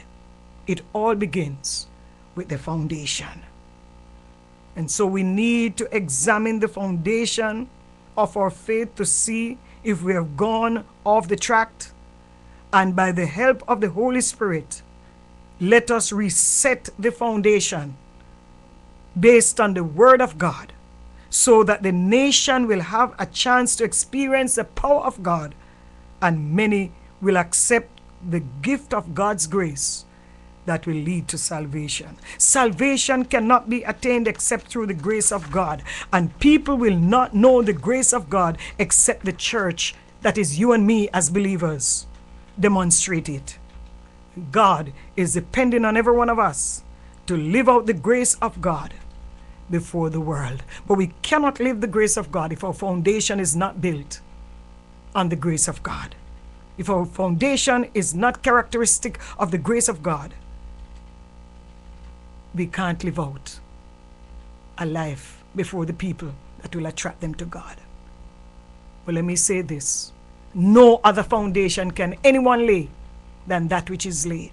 So if your foundation is not based on the grace of God, I'm sorry to say, you have excluded yourself from the church of God. You are not the church of Jesus Christ. But if your foundation is laid on is if, if, if the grace of God is the foundation of your life, then you are a part of the church. And if you are a part of the church, you must also be willing to acknowledge that you are a representative of Christ who is full of grace and truth. So, how you live, how you talk, how you act must be in accordance with the word of God. It is nonsense to believe that you have a license to behave any way you want to behave, in spite of what has overtaken you. God wants you and me to begin to walk more circumspectly before Him, redeeming the time. For the days are evil. For those of you who are the sound of my voice, who are nursing problems and allowing the bumps in the road to set you back. I'm here to tell you the Spirit of God gives an invitation to come to Jesus and learn of Him how to overcome the struggles in your life. Yes, the struggles will come, but what the enemy meant for evil, God wants to use it to work for your good so that you can bring many souls to the knowledge of Jesus Christ. The foundation of the church is now brought into question as to whether it is built on the, it, it is it is um, um, comprised of the grace of God or something else.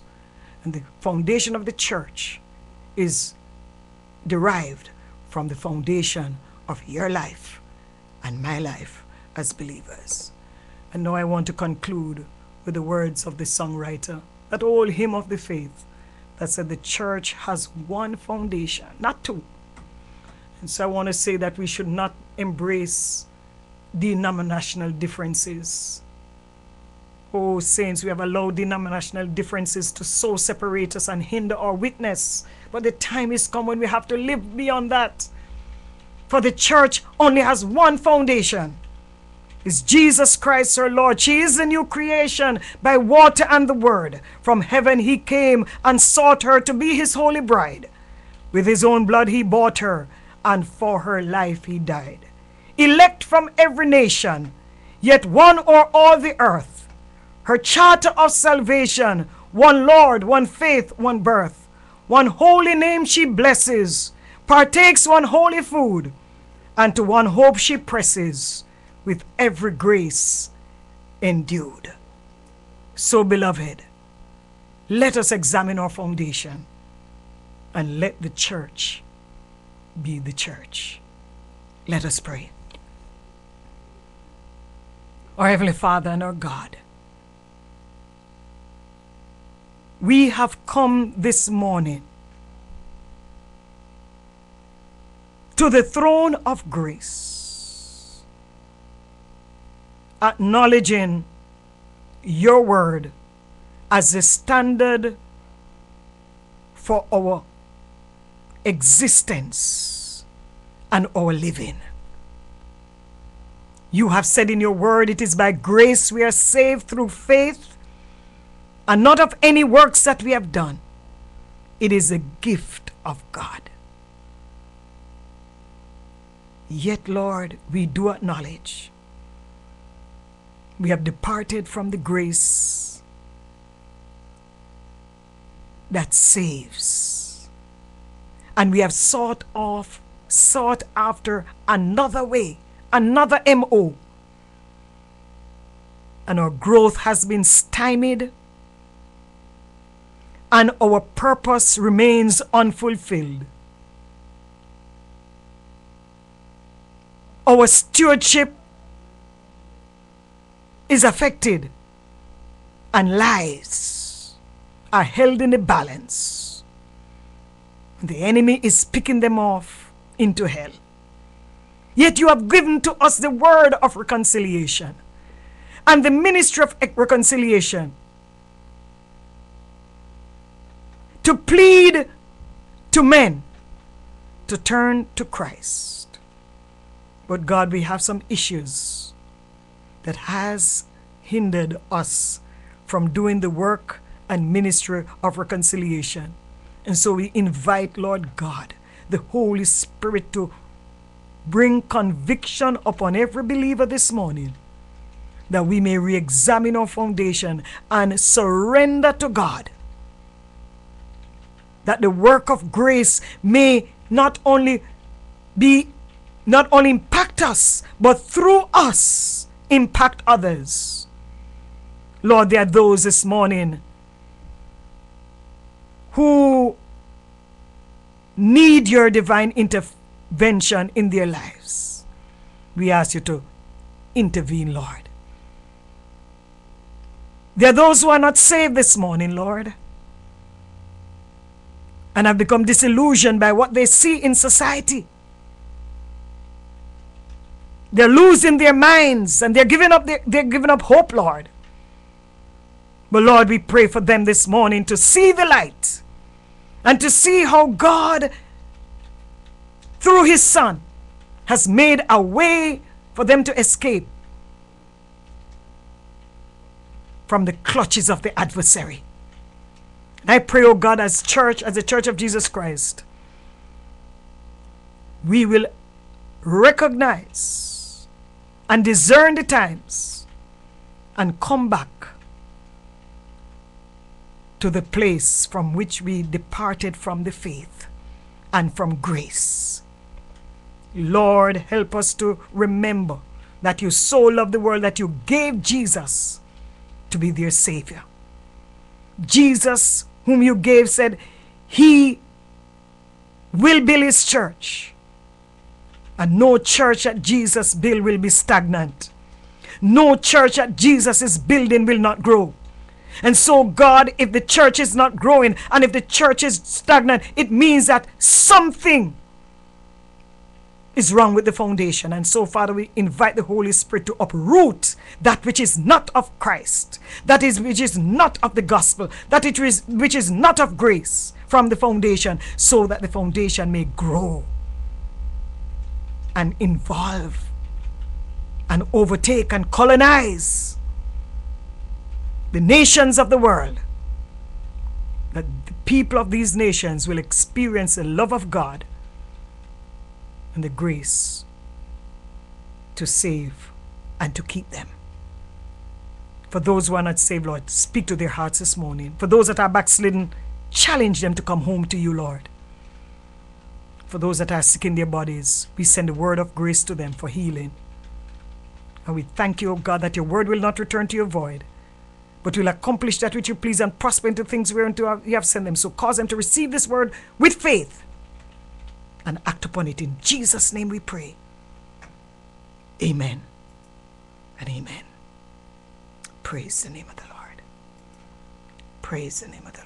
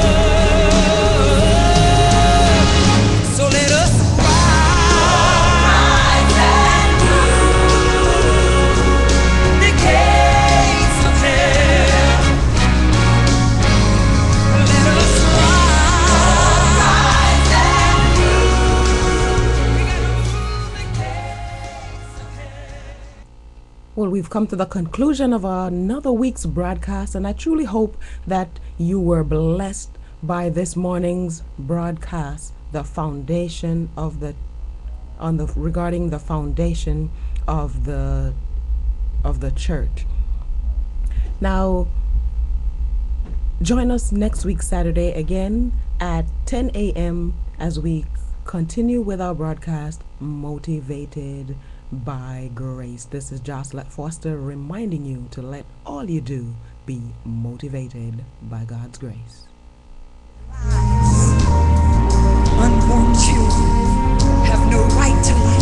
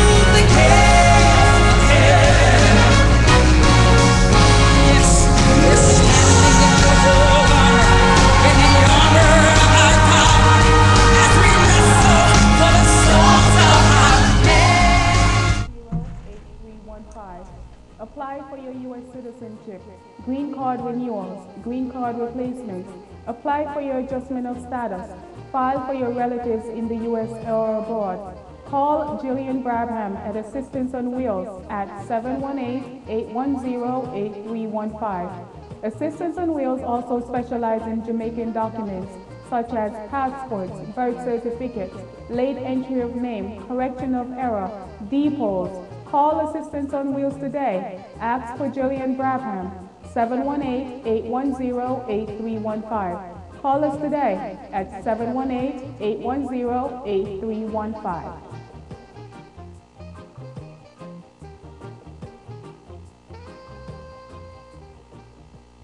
This is Pastor Carmel Hall of Ye Servant of God Temple, inviting you to their second annual prayer breakfast on September 15th at 11 a.m., located at the WCO Center, 3744 White Plains Road in the Bronx, between 217 and 218. Tickets are $20. For tickets, please call 718 405 5118. God bless you. And you pass through the floor. Jumping on the head like a friend, run away one of them. The husband left you with the ten children. You can't find food and you're not in the mood, but you're not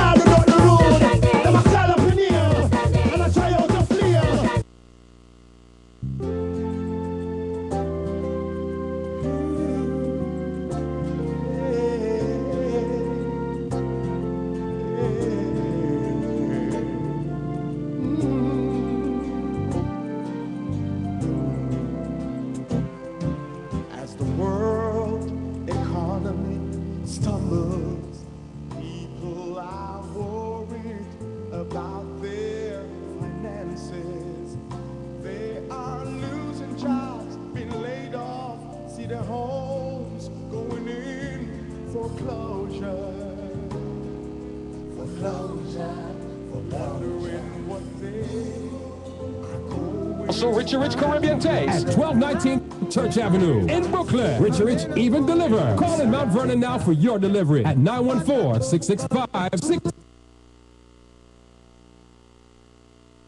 552. In the Bronx at 718 708 8431. Brooklyn delivery coming soon. Belly full, but they're starving. You taste the rest? Now taste the best. All in New York says so. It's Richie Rich. Caribbean Well, come and try out.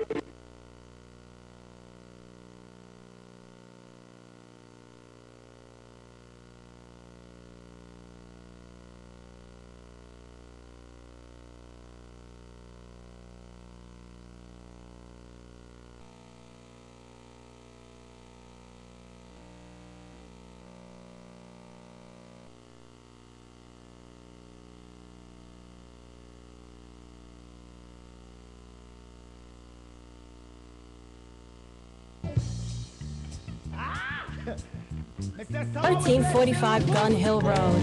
That's thirteen forty-five Gun Hill Road. Give them a call for all your catering needs at 347-947-3400. That's three four seven nine four seven three four zero zero. They do delivery, so give them a call. The Ultimate Grill, where you eat right, everything tastes right.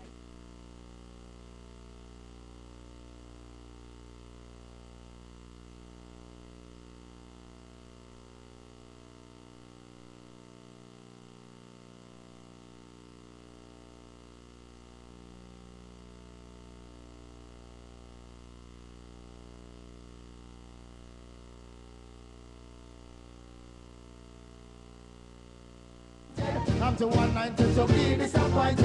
Right to no church. I'm Music by CJ's Promotion. Admission $20. For ticket call 917-559-0340 718 32 3164 with first 30 guests get free album just tune into Hope for Life Radio 98.1 FM or listen www.hfl ministries.org there will be prizes and surprises. No blessings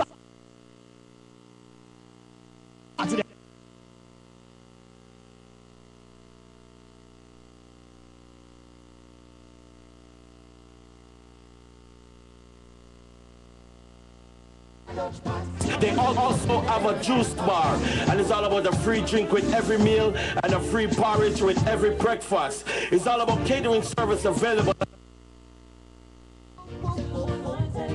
at a very low cost. It's Bronx Uptown Restaurant, open 24-7, and the telephone number is 347-341-59. 77 or you can call 347-207-5244. It's all about Bronx Uptown restaurant. Come in and taste real curry goat, real mannish water. Big up Chef Campbell, Sian, Neil, the whole staff. Cause you don't know Bronx Uptown Restaurant and my restaurant that mad.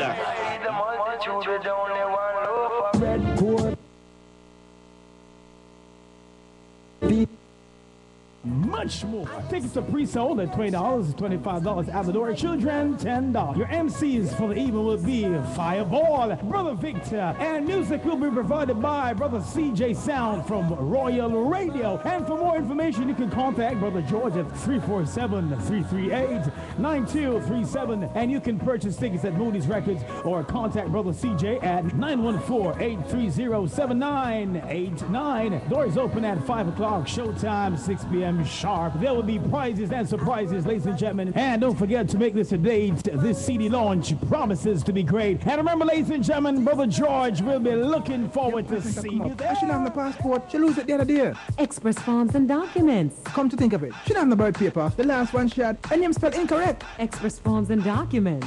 Who is that? Express Forms and Documents, they provide paralegal services, prepare immigration forms, notary public services, and prepare your uncontested divorce papers. 739 Nereid Avenue in the Bronx. Second to last stop on the northbound number 2 train, or you can take the BX16. 718-654-5758. Express Forms and Documents. Sometimes you just can't do it all. Give us a call today, 718-654-5758. Yes, indeed. And again, I must say good morning, good morning to each and every one this morning. Pleasant good morning to you and you and you. And yes, of course, we are coming to you live from 3350 through 3356 Seymour Avenue, right here in the Bronx. And with me this morning, of course, yes, I have Pastor Levi this morning who will pray for us this morning and give us our morning's devotion this morning. Pastor Levi. Blessed be God the Father Almighty, creator of the heaven and creator of the earth, rule and the maker and the head, creator the governor, who is the Alpha and the Omega, the beginning and the end, the first and the last, who is and was and is to come, the Almighty One. Blessed be his name forever and forever, even from the rising of the sun till the going down of the same. The word of God tells us, Bless the Lord, O my soul, and all that is within me, bless his holy name. Bless the Lord, O my soul, and forget not all his benefits, who forgiveth all thine iniquities, who all thy diseases, who redeemeth thy life from destruction, who crowneth thee with loving kindness and tender mercies, who satisfy thy mouth with good things, so that thy youth is renewed like the eagle. The Lord executed righteousness and judgment for all that are oppressed. He made known his ways unto Moses, his acts unto the children of Israel. The Lord is merciful and gracious, slow to anger and plenteous in mercy. He will not always chide, neither will he keep his anger forever. He hath not dealt with us after our sins, nor rewarded us according to our iniquities. For as the heavens is high above the earth, so great is his mercy towards them that fear him. As far as the east is from the west, so far hath he removed our transgressions from us. Like as a father pitieth his children, so the Lord pitieth them that fear him. For he knoweth our frames, he remember that we are dust. But as for man, his days are as grass, as the flower of the field, so he flourisheth. For the wind passeth over it, and it is gone, and the place thereof shall know it no more. But the mercy of the Lord is from everlasting to everlasting, and his righteousness unto children's children, to such as keep his covenant, and to those that remember his commandments to do them. The Lord hath prepared his throne in the heavens, and his kingdom ruleth over all. Bless the Lord, all his angels that excel in strength, hearken unto the voice of his word. Bless the Lord, all his hosts, he ministers of his that do his pleasure. Bless the Lord, all his works in all places of his dominion. Bless the Lord, O my soul. Somebody needs to bless the Lord this morning, for the Lord is great and greater to be praised in the city of our God, in the mountain of his holiness. Beautiful for situation. The joy of the whole earth this morning is Mount Zion. On the side of the north is the city of the great and mighty King. Father, we bless you this morning for your grace. Lord, we give you praise for your mercy that endures forever. We thank you for this day, Lord, the day which you have made. We will rejoice and be glad in it, Lord. My God, my King, Lord and Savior, who is and was and is to come, the Almighty. Blessed be your name, O God. Lord, we ask you to be with us today, Lord. Tabernacle with us, Lord. May your presence be in our midst today, Lord. May all things be done, Lord, according to your plan and your purpose, Lord. We thank you for the gathering today, Lord. All men and women, Lord, children, Lord, that will be at the spot of ground today, Lord. We ask you that you watch over each and every one, Lord. Cause that your angels will encamp around this place, my God. Do something mighty in the midst of your people, Lord. Let, Lord, your favor and your mercy and your grace abide with us. We give you thanks and we give you praise in the mighty name of our Lord and Savior Jesus Christ, King of kings and Lords of lords, Lion of the tribe of Judah, who is and was and is to come, the Almighty One. We bless you, Father, in Jesus' name. Amen. Amen. Amen. Thank you so much, Pastor Levi. And of course, ladies and gentlemen, we are coming to you live this morning. And uh, these are the FM bands that we are coming on live this morning in the Bronx. We are coming to you live on 91.3 FM. Yes, that's 91.3 FM, 98.1 FM. Also, I want to welcome on board at this time Sela Radio, 88.9 FM right here in the Bronx. Amen. So all the ladies and gentlemen in the Bronx this morning, I just want to invite you over to 3350 through 56 Seymour Avenue 10469. Amen. You can come on out, get your uh, your blood pressure checked for free. Amen. We have. You can also have your uh, H- my God, not yours, your nutritional information right here. You can also have health insurance information, HIV testing going on here for free. And ladies and gentlemen, all you need is your presence. That's all we need here. Just your presence. It is free. It is free. Also, want to take the time out to say good morning to Prosperity FM down there in Cayman Island this morning. Good morning, to, good morning to you, DJ Radical, DJ Robert. First Lady Samuels down there in Cayman Island this morning. Also down in Miami. Want to say good morning to Jams Rock Radio. Yes, take a walk down to Palm Bay, Florida. Amen. To Shabak Radio. Good morning. Good morning to you. Good morning to JFM Lives down there in South Carolina. Amen. Also want to say good morning to Kingdom Link 101.7 in Atlanta, Georgia. ATL Praise House, Brother Lou and the team. Good morning. Good morning to you. Amen. Good morning. Also want to bring it up. Amen. I want to bring it up this morning to Pennsylvania to JF, uh, pardon me, to True Gospel Ministries.com. Amen. Also want any time out of again to say good morning to PWE Ministries. Amen. 91.3. That's CEM Radio down there in Brooklyn this morning. Good morning to each and every one of you. And yes, hopefully we should get the phone line up and running in a little while. Amen. So keep it locked right here as we bounce back to the music. Be blessed. Mm-hmm.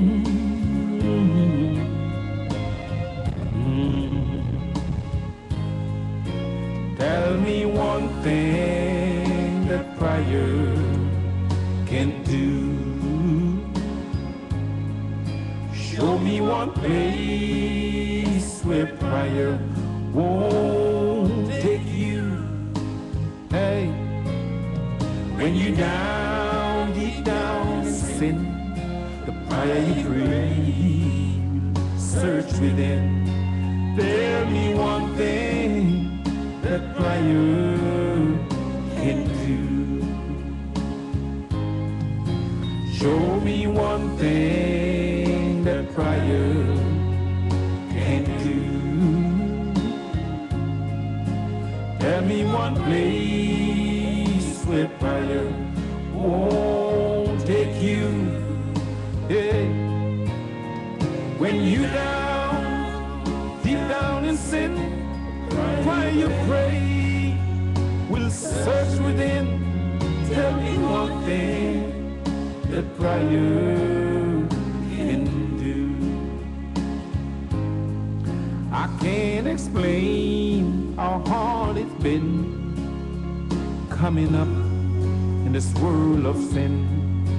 So many times I almost miss my way. But it's the prayers that I pray kept me through these lonely days. Show me one thing that prayer can do. Tell me one thing that prayer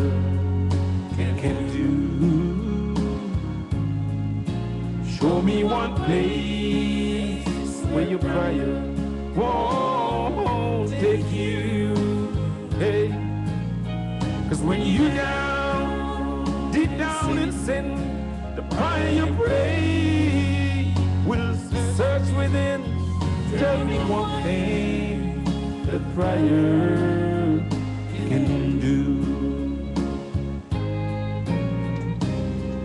You know, friends, there was a time in my life when I wouldn't pray. I used to say, what good is prayer? Prayer take too long. I need things done now.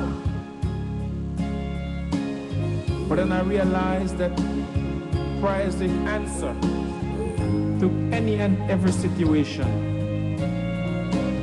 It can move mountains. It can change anything that the enemy has planned against your life. So when life condemns, remember to get down on your knees and pray because prayer changes things. Mm, Tell me one thing that your prayer can do. Hallelujah. Show me one place that your prayer won't take you.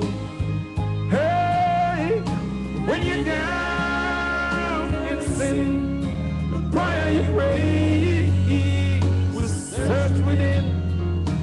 Me one thing that your prayer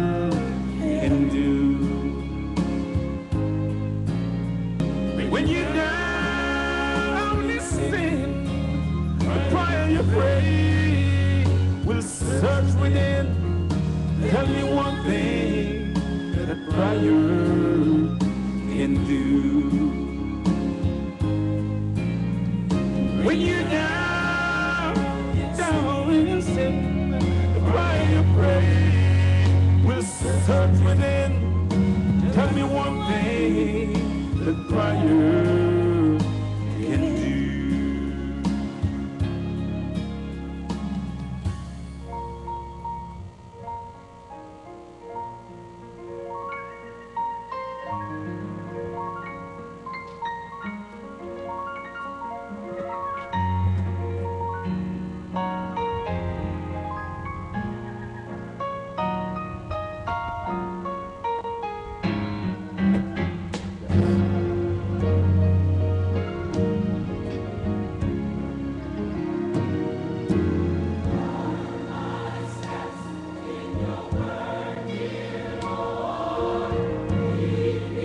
God. And as I said before, in a little while we'll be turning it up, of course. So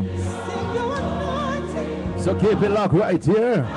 As I said, we are coming from the parking lot, of course, of NTT Church of God, located at 3350 through 56. Seymour Avenue. This wonderful, wonderful, yes, Saturday morning. And of course, we are doing, yes, free screening here this morning. You can have your blood pressure checked this morning. My God, yes. And of course, this morning, I just want to stop by briefly and say good morning to a beautiful, beautiful lady here. And maybe she can just tell us a little bit more what's going on here this morning. Good morning to you, Lady D. Can you just come beside me here? Good morning, good morning, Lady D. Morning, morning. How are you?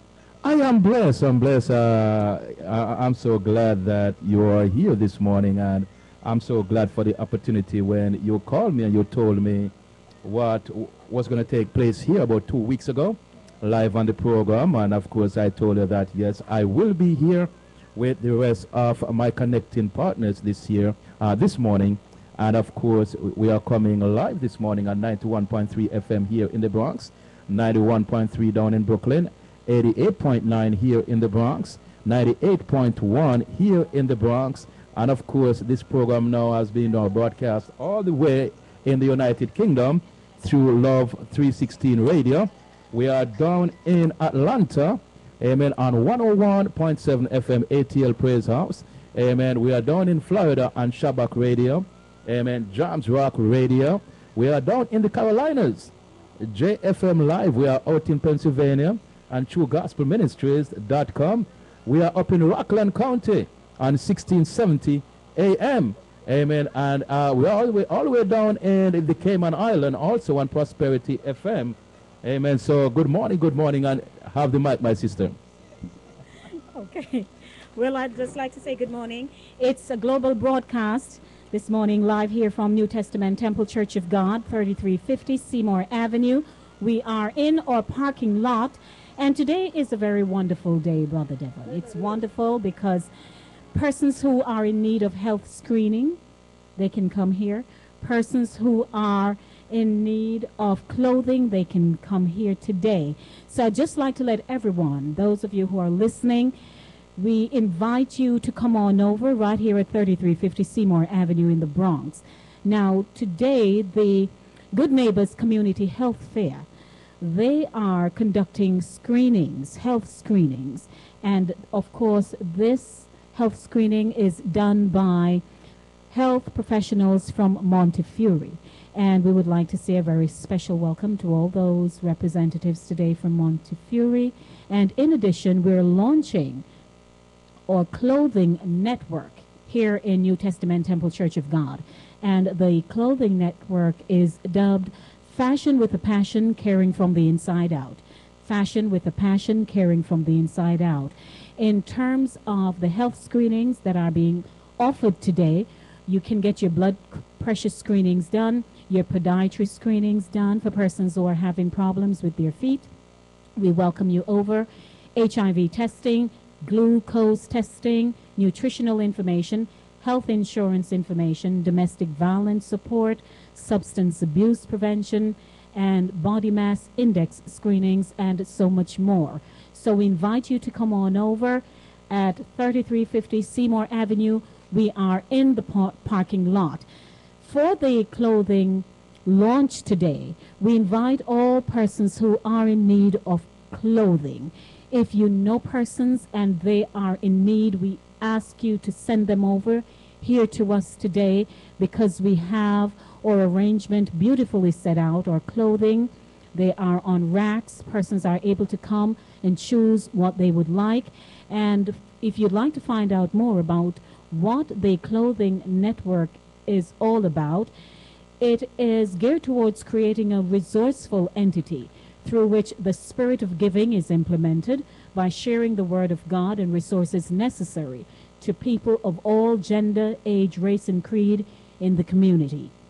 Wherever you are, we invite you here today, and certainly you'll be hearing more from our pastors. You'll be hearing more from all those who are on board with the health fair and the clothing distribution going on here. Great things. We invite you to come on out. We're in our parking lot. Tell a friend to tell a friend. This is what they call the Boogie Down Bronx. So we invite you to come on down and have a great, great time with us. We'll be here until 3 p.m. this afternoon. We kick it off at 11. We're here until 3. And if you're wondering, what clothes will I be getting? We cater to the casual, business, semi-formal, and formal. We have toddlers clothing, newborns, adults, male, female. We invite you. And if you'd like to get your health screening done, you have not had a physical in a very long time, we ask that you come on down. So those who are listening, we know you're going to be here. We need this parking lot to be jam, jam packed. We can't overemphasize. We need as many persons here today. Come get your health screenings done. Of course, if you're not healthy, then you can't do anything. And I know it's going to be a great, great time here.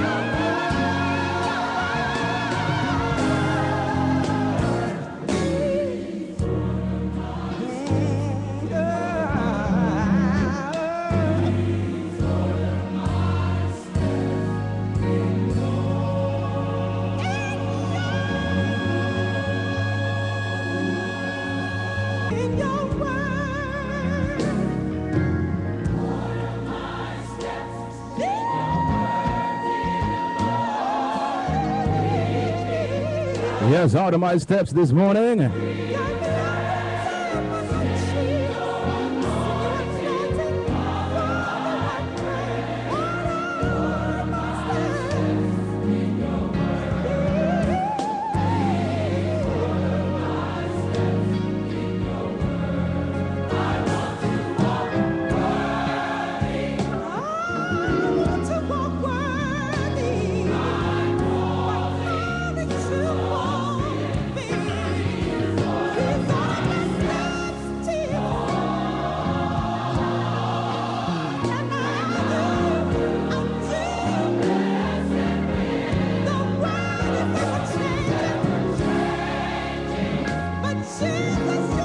God. Yes, of course. Want to say good morning to one sister Marcia 219 this morning. Absolutely, we are coming to you right from NTT Church of God, 3350 through 56. Yes, church parking lot this blessed, blessed Saturday morning. And of course, I want to say uh, good morning to all the Sabbath keepers this morning all over the world. want to say good morning to you.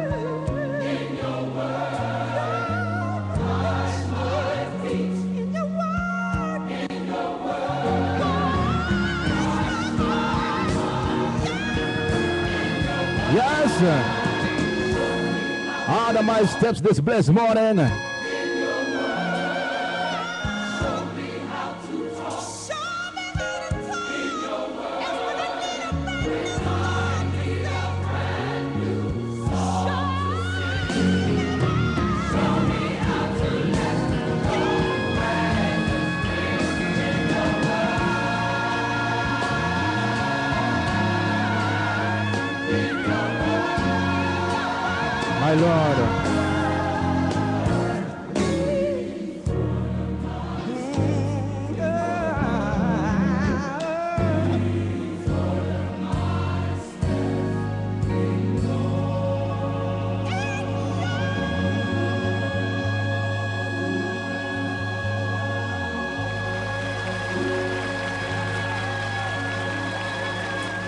Bless the name of the Lord this morning.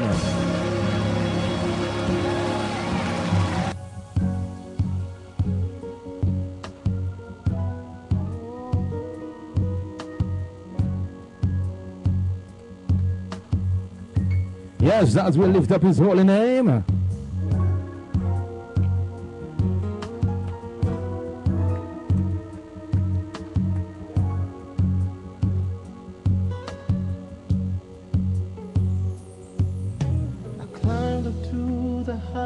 Mountain. Looked all around, couldn't find nobody.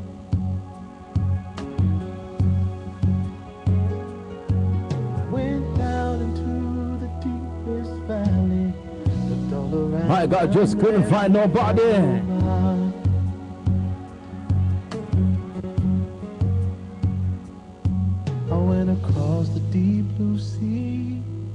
Couldn't find one to compare to your grace, your love, your mercy. Nobody greater, nobody greater than you.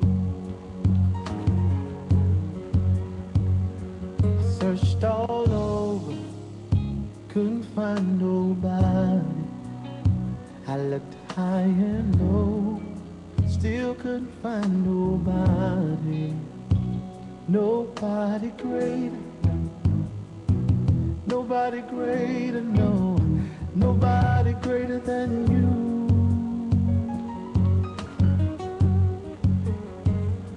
Searched all over, couldn't find nobody. I looked high and low, still couldn't find nobody. Nobody greater. Nobody greater, nobody greater than you.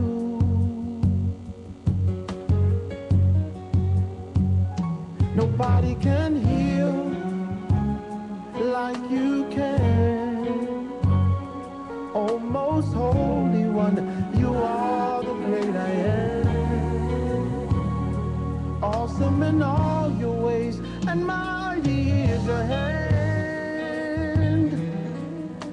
and mighty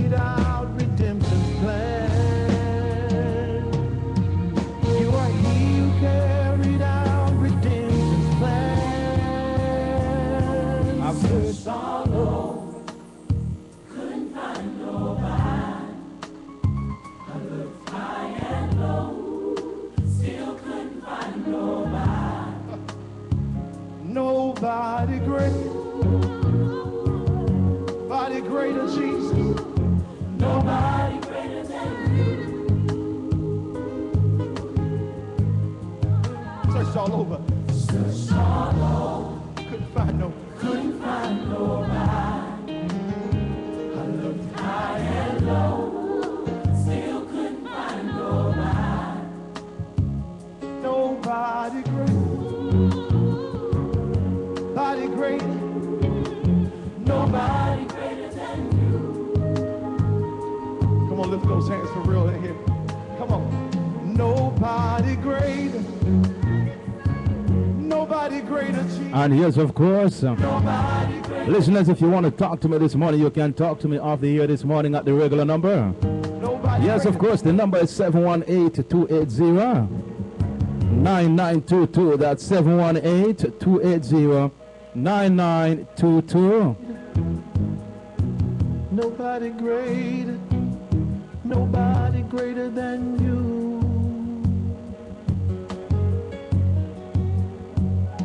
Nobody can heal like you can. Oh, most holy one, you are the great I am. Awesome in all your ways, and mighty is your hand.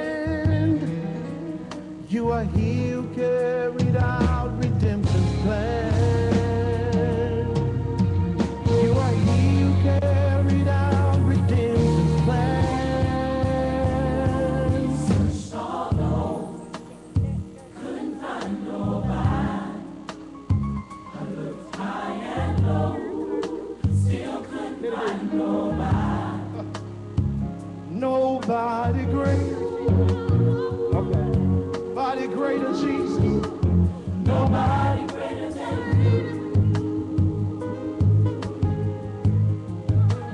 all over. Searched all over, Couldn't find no. couldn't find. I looked high and yes, of course, gotta take this one from the top one more time. Can't find nobody greater from the top this morning. And yes, we're coming to you live this morning, 3350 through 56. Uh, Seymour Avenue, right here in the Bronx this morning. And of course, we're between Boston Post Road and Givan Avenue this morning. And of course, ladies and gentlemen, yes, this is sponsored by Montefiore Medical Center. Also want to take the time out to say good morning to Sister Shay Shay this morning. Complete seal of family. Blessed good morning to each and every one of you.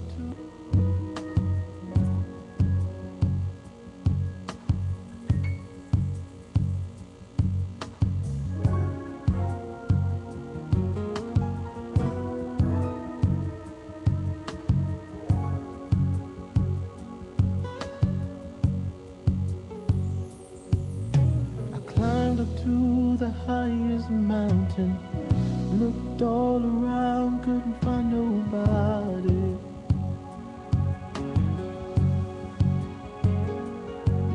Went down into the deepest valley, looked all around down there, couldn't find nobody.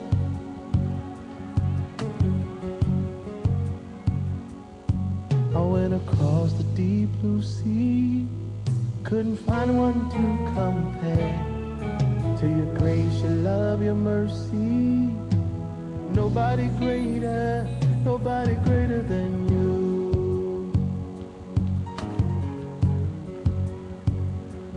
Searched all over, couldn't find nobody. I looked high and low, still couldn't find nobody. Nobody greater.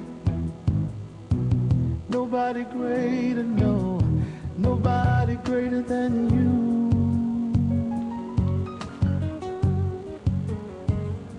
I searched all over, couldn't find nobody. I looked high and low, still couldn't find nobody. Nobody greater, nobody greater, nobody greater than you.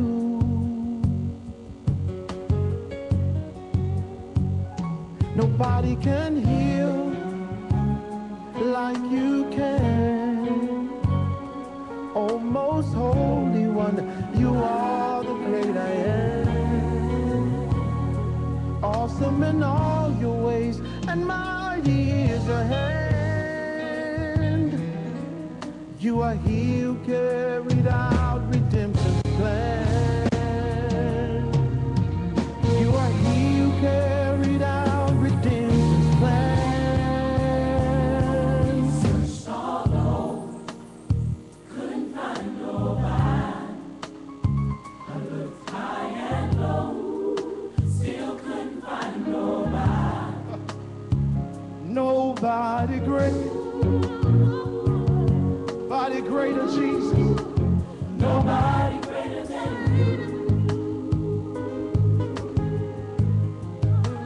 all over. Searched all over, Couldn't find no. couldn't find nobody. I looked high and low, still couldn't find nobody. Nobody great. My God, nobody greater. Great. Nobody greater than you. Yes, I've searched all over. Come on, lift those hands for Nobody great. Yes, taking it nice and easy for now. Nobody great. And believe you me, later on we're just gonna turn it up. Amen. Bless the name of the Lord this morning. Nobody greater. Nobody great. To all the folks over there in the UK, good afternoon to you. Greater. No. Nobody greater than you. Now lift those hands, singers, and let's just give him the glory. Nobody greater. Nobody greater. And yes, of course, to the folks right here on Seymour Avenue, I want to say good morning to each and every one of you, of course. And yes, you can come on out for your free screening this morning, of course. Come on. Nobody greater. Want to say good morning to the Clark family this morning. Robert, good morning to you and the family, sir. Good morning to you, Jane. Jesus.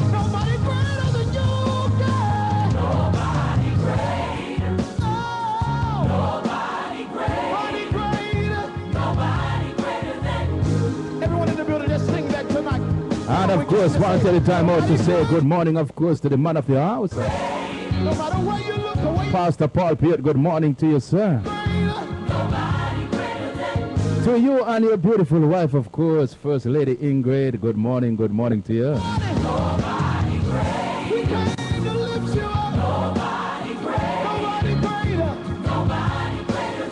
And of course, ladies and gentlemen, you know how many times I spoke about this church. Very, very active in the community. Nobody greater. Nobody great. Nobody greater. And of course, very active to the cause of Haiti.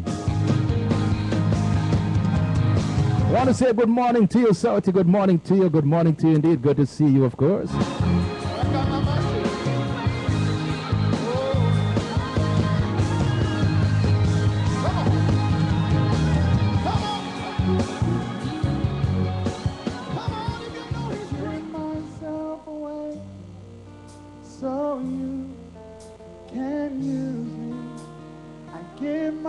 Myself away.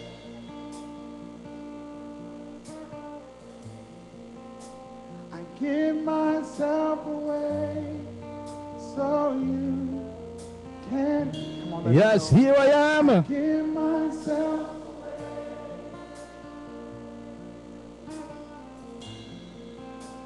I give myself away so you can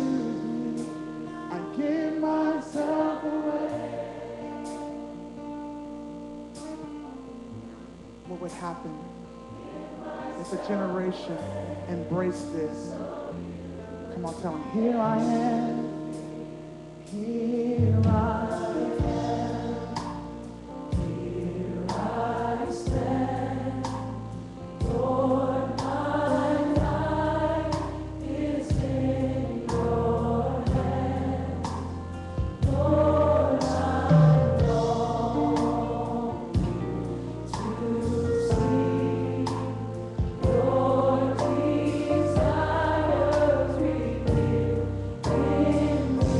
God.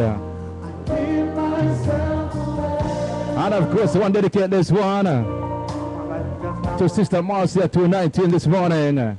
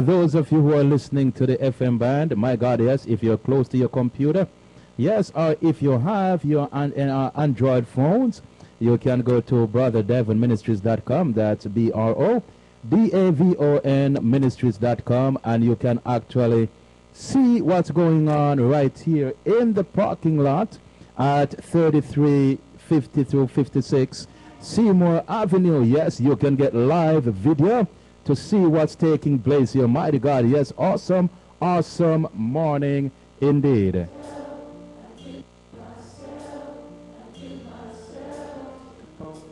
I give myself.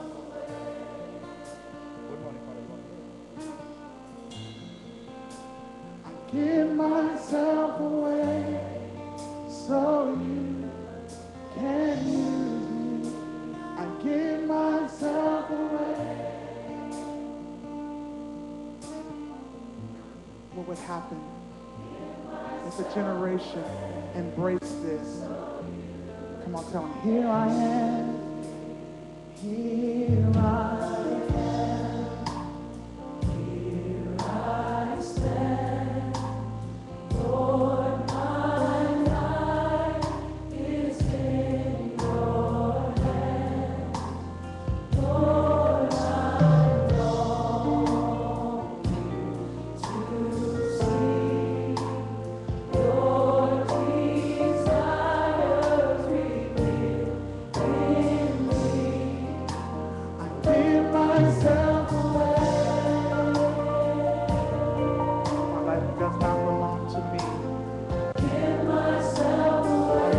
Want to say good morning, of course, to Brother Lou from ATL Praise House.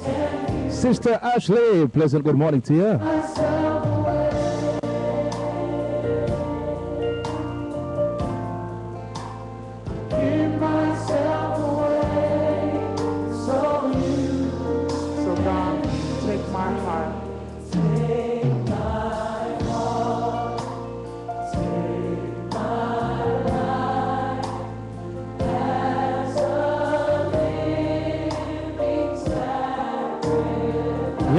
I want to take the time out to say good morning, of course, to one Pastor Glad this morning.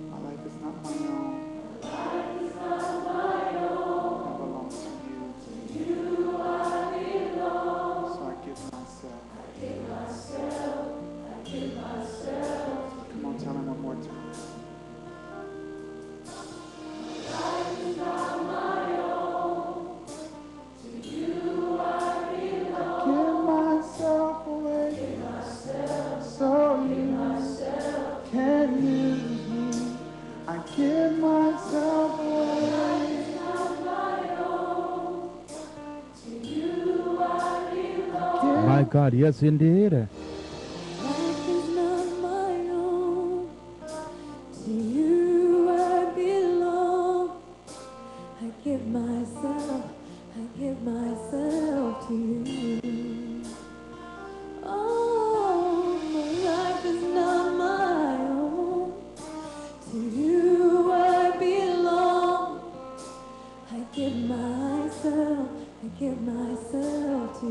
And yes, of course, in a few minutes we'll be talking to the man of the house, of course. Yes, we'll also be talking to his associates this morning.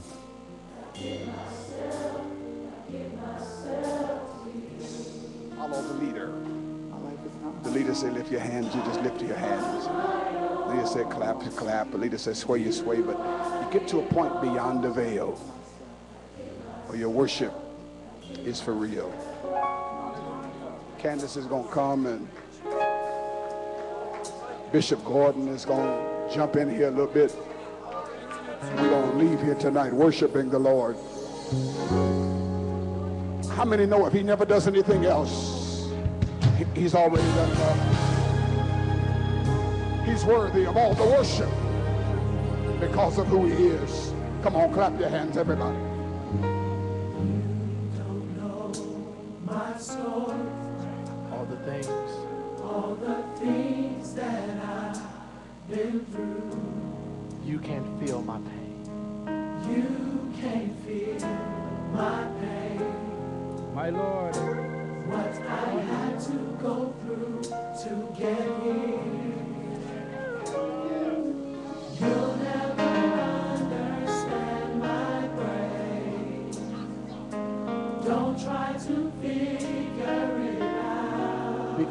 Yes, want to say good morning to one sister Patricia Bowen. And before I even finish playing this song this morning, I want to speak out to the men this morning, the men out there that are listening to the sound of my voice.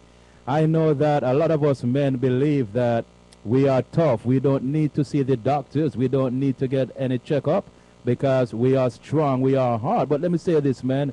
Prevention is better than cure. Amen. Prevention is better than cure. And of course, I have sitting beside me right now, of course, we have Pastor Glad. And Pastor Glad, I must say thank you so much, sir, uh, for the invite. It's a real pleasure for me to be here this morning to let the community know what's going on here. It's our pleasure. We're so grateful to you for um, being here with us this morning and airing your program here from our parking lot here at New Testament Temple. We're excited about the opportunity to serve the community. We believe that's what church is all about. It's about serving, and we have a plan to do many things that we believe is good for the community. I think it's good for us to partner with Montefiore to bring this health medical clinic here to our parking lot and so that the members of our community can come out and have these screenings done absolutely free. Uh, in addition to that, we have our clothing network that has done a wonderful job. They have some really nice stuff over there. So uh, that's also available, and uh, we're going to have some care packages that we're going to be handing out later on also. So those of you who are listening, uh, this is for you.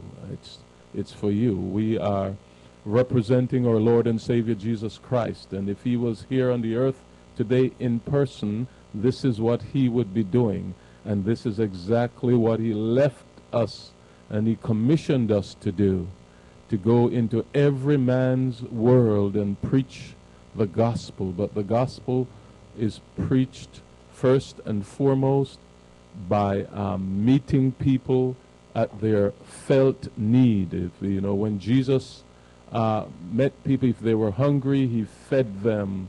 and uh, ultimately, uh, he addresses their spiritual needs. Yes. But first and foremost, we must address your immediate need. And so if you have an immediate need to see a doctor, we have doctors here. Come on down. If you have an immediate need, you're not feeling good in your body, and you might just need to get your blood pressure checked, come on down. It is here for you. Thank you. Amen. Amen. Let's just. Um, amen. Wonderful. Now, um, Pastor Glad, let me just um, say this though, and of course, I will speak to uh, Pastor Paul Pearty in a few minutes, but um, I really can't stop talking about uh, NTT, New Testament Temple Church of God. And one of the reasons for that is that um, I remember that uh, I remember in the days when um, Haiti got hit by that terrible earthquake, I witnessed uh, the trailer that parked right in front of the church. And I noticed that it was loaded to the very, very end. Amen. Loaded from the bottom all the way to the ceiling and all the way to the door. Amen. And that trailer went over to Haiti. And also what I realized every Thursday, also I realized that uh, this church again offered food packages. Absolutely. Amen. I see people come and I see people leaving not, not with one bag, but with bags. Yes. Amen. And yesterday was Friday, and even as I was passing by, I saw you guys there handing out stuff, receiving stuff. So, so and this is what I do believe the church is all about to get active Yes. in the community, do, uh, be there for the less fortunate. Yes, we minister to approximately 250 to 300 persons every week with food, or I like to call it care packages. How many, how many people? Between 250 and 300. My God, now, if I may ask you one question, um, I I think I know the answer to this. Uh, you know what, I'm just going to go straight with this.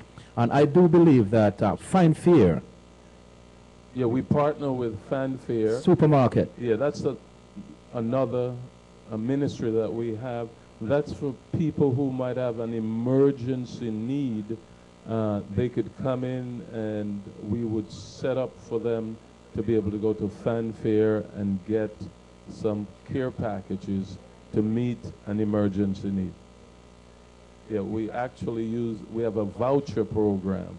Now, this is selectively issued. Wow.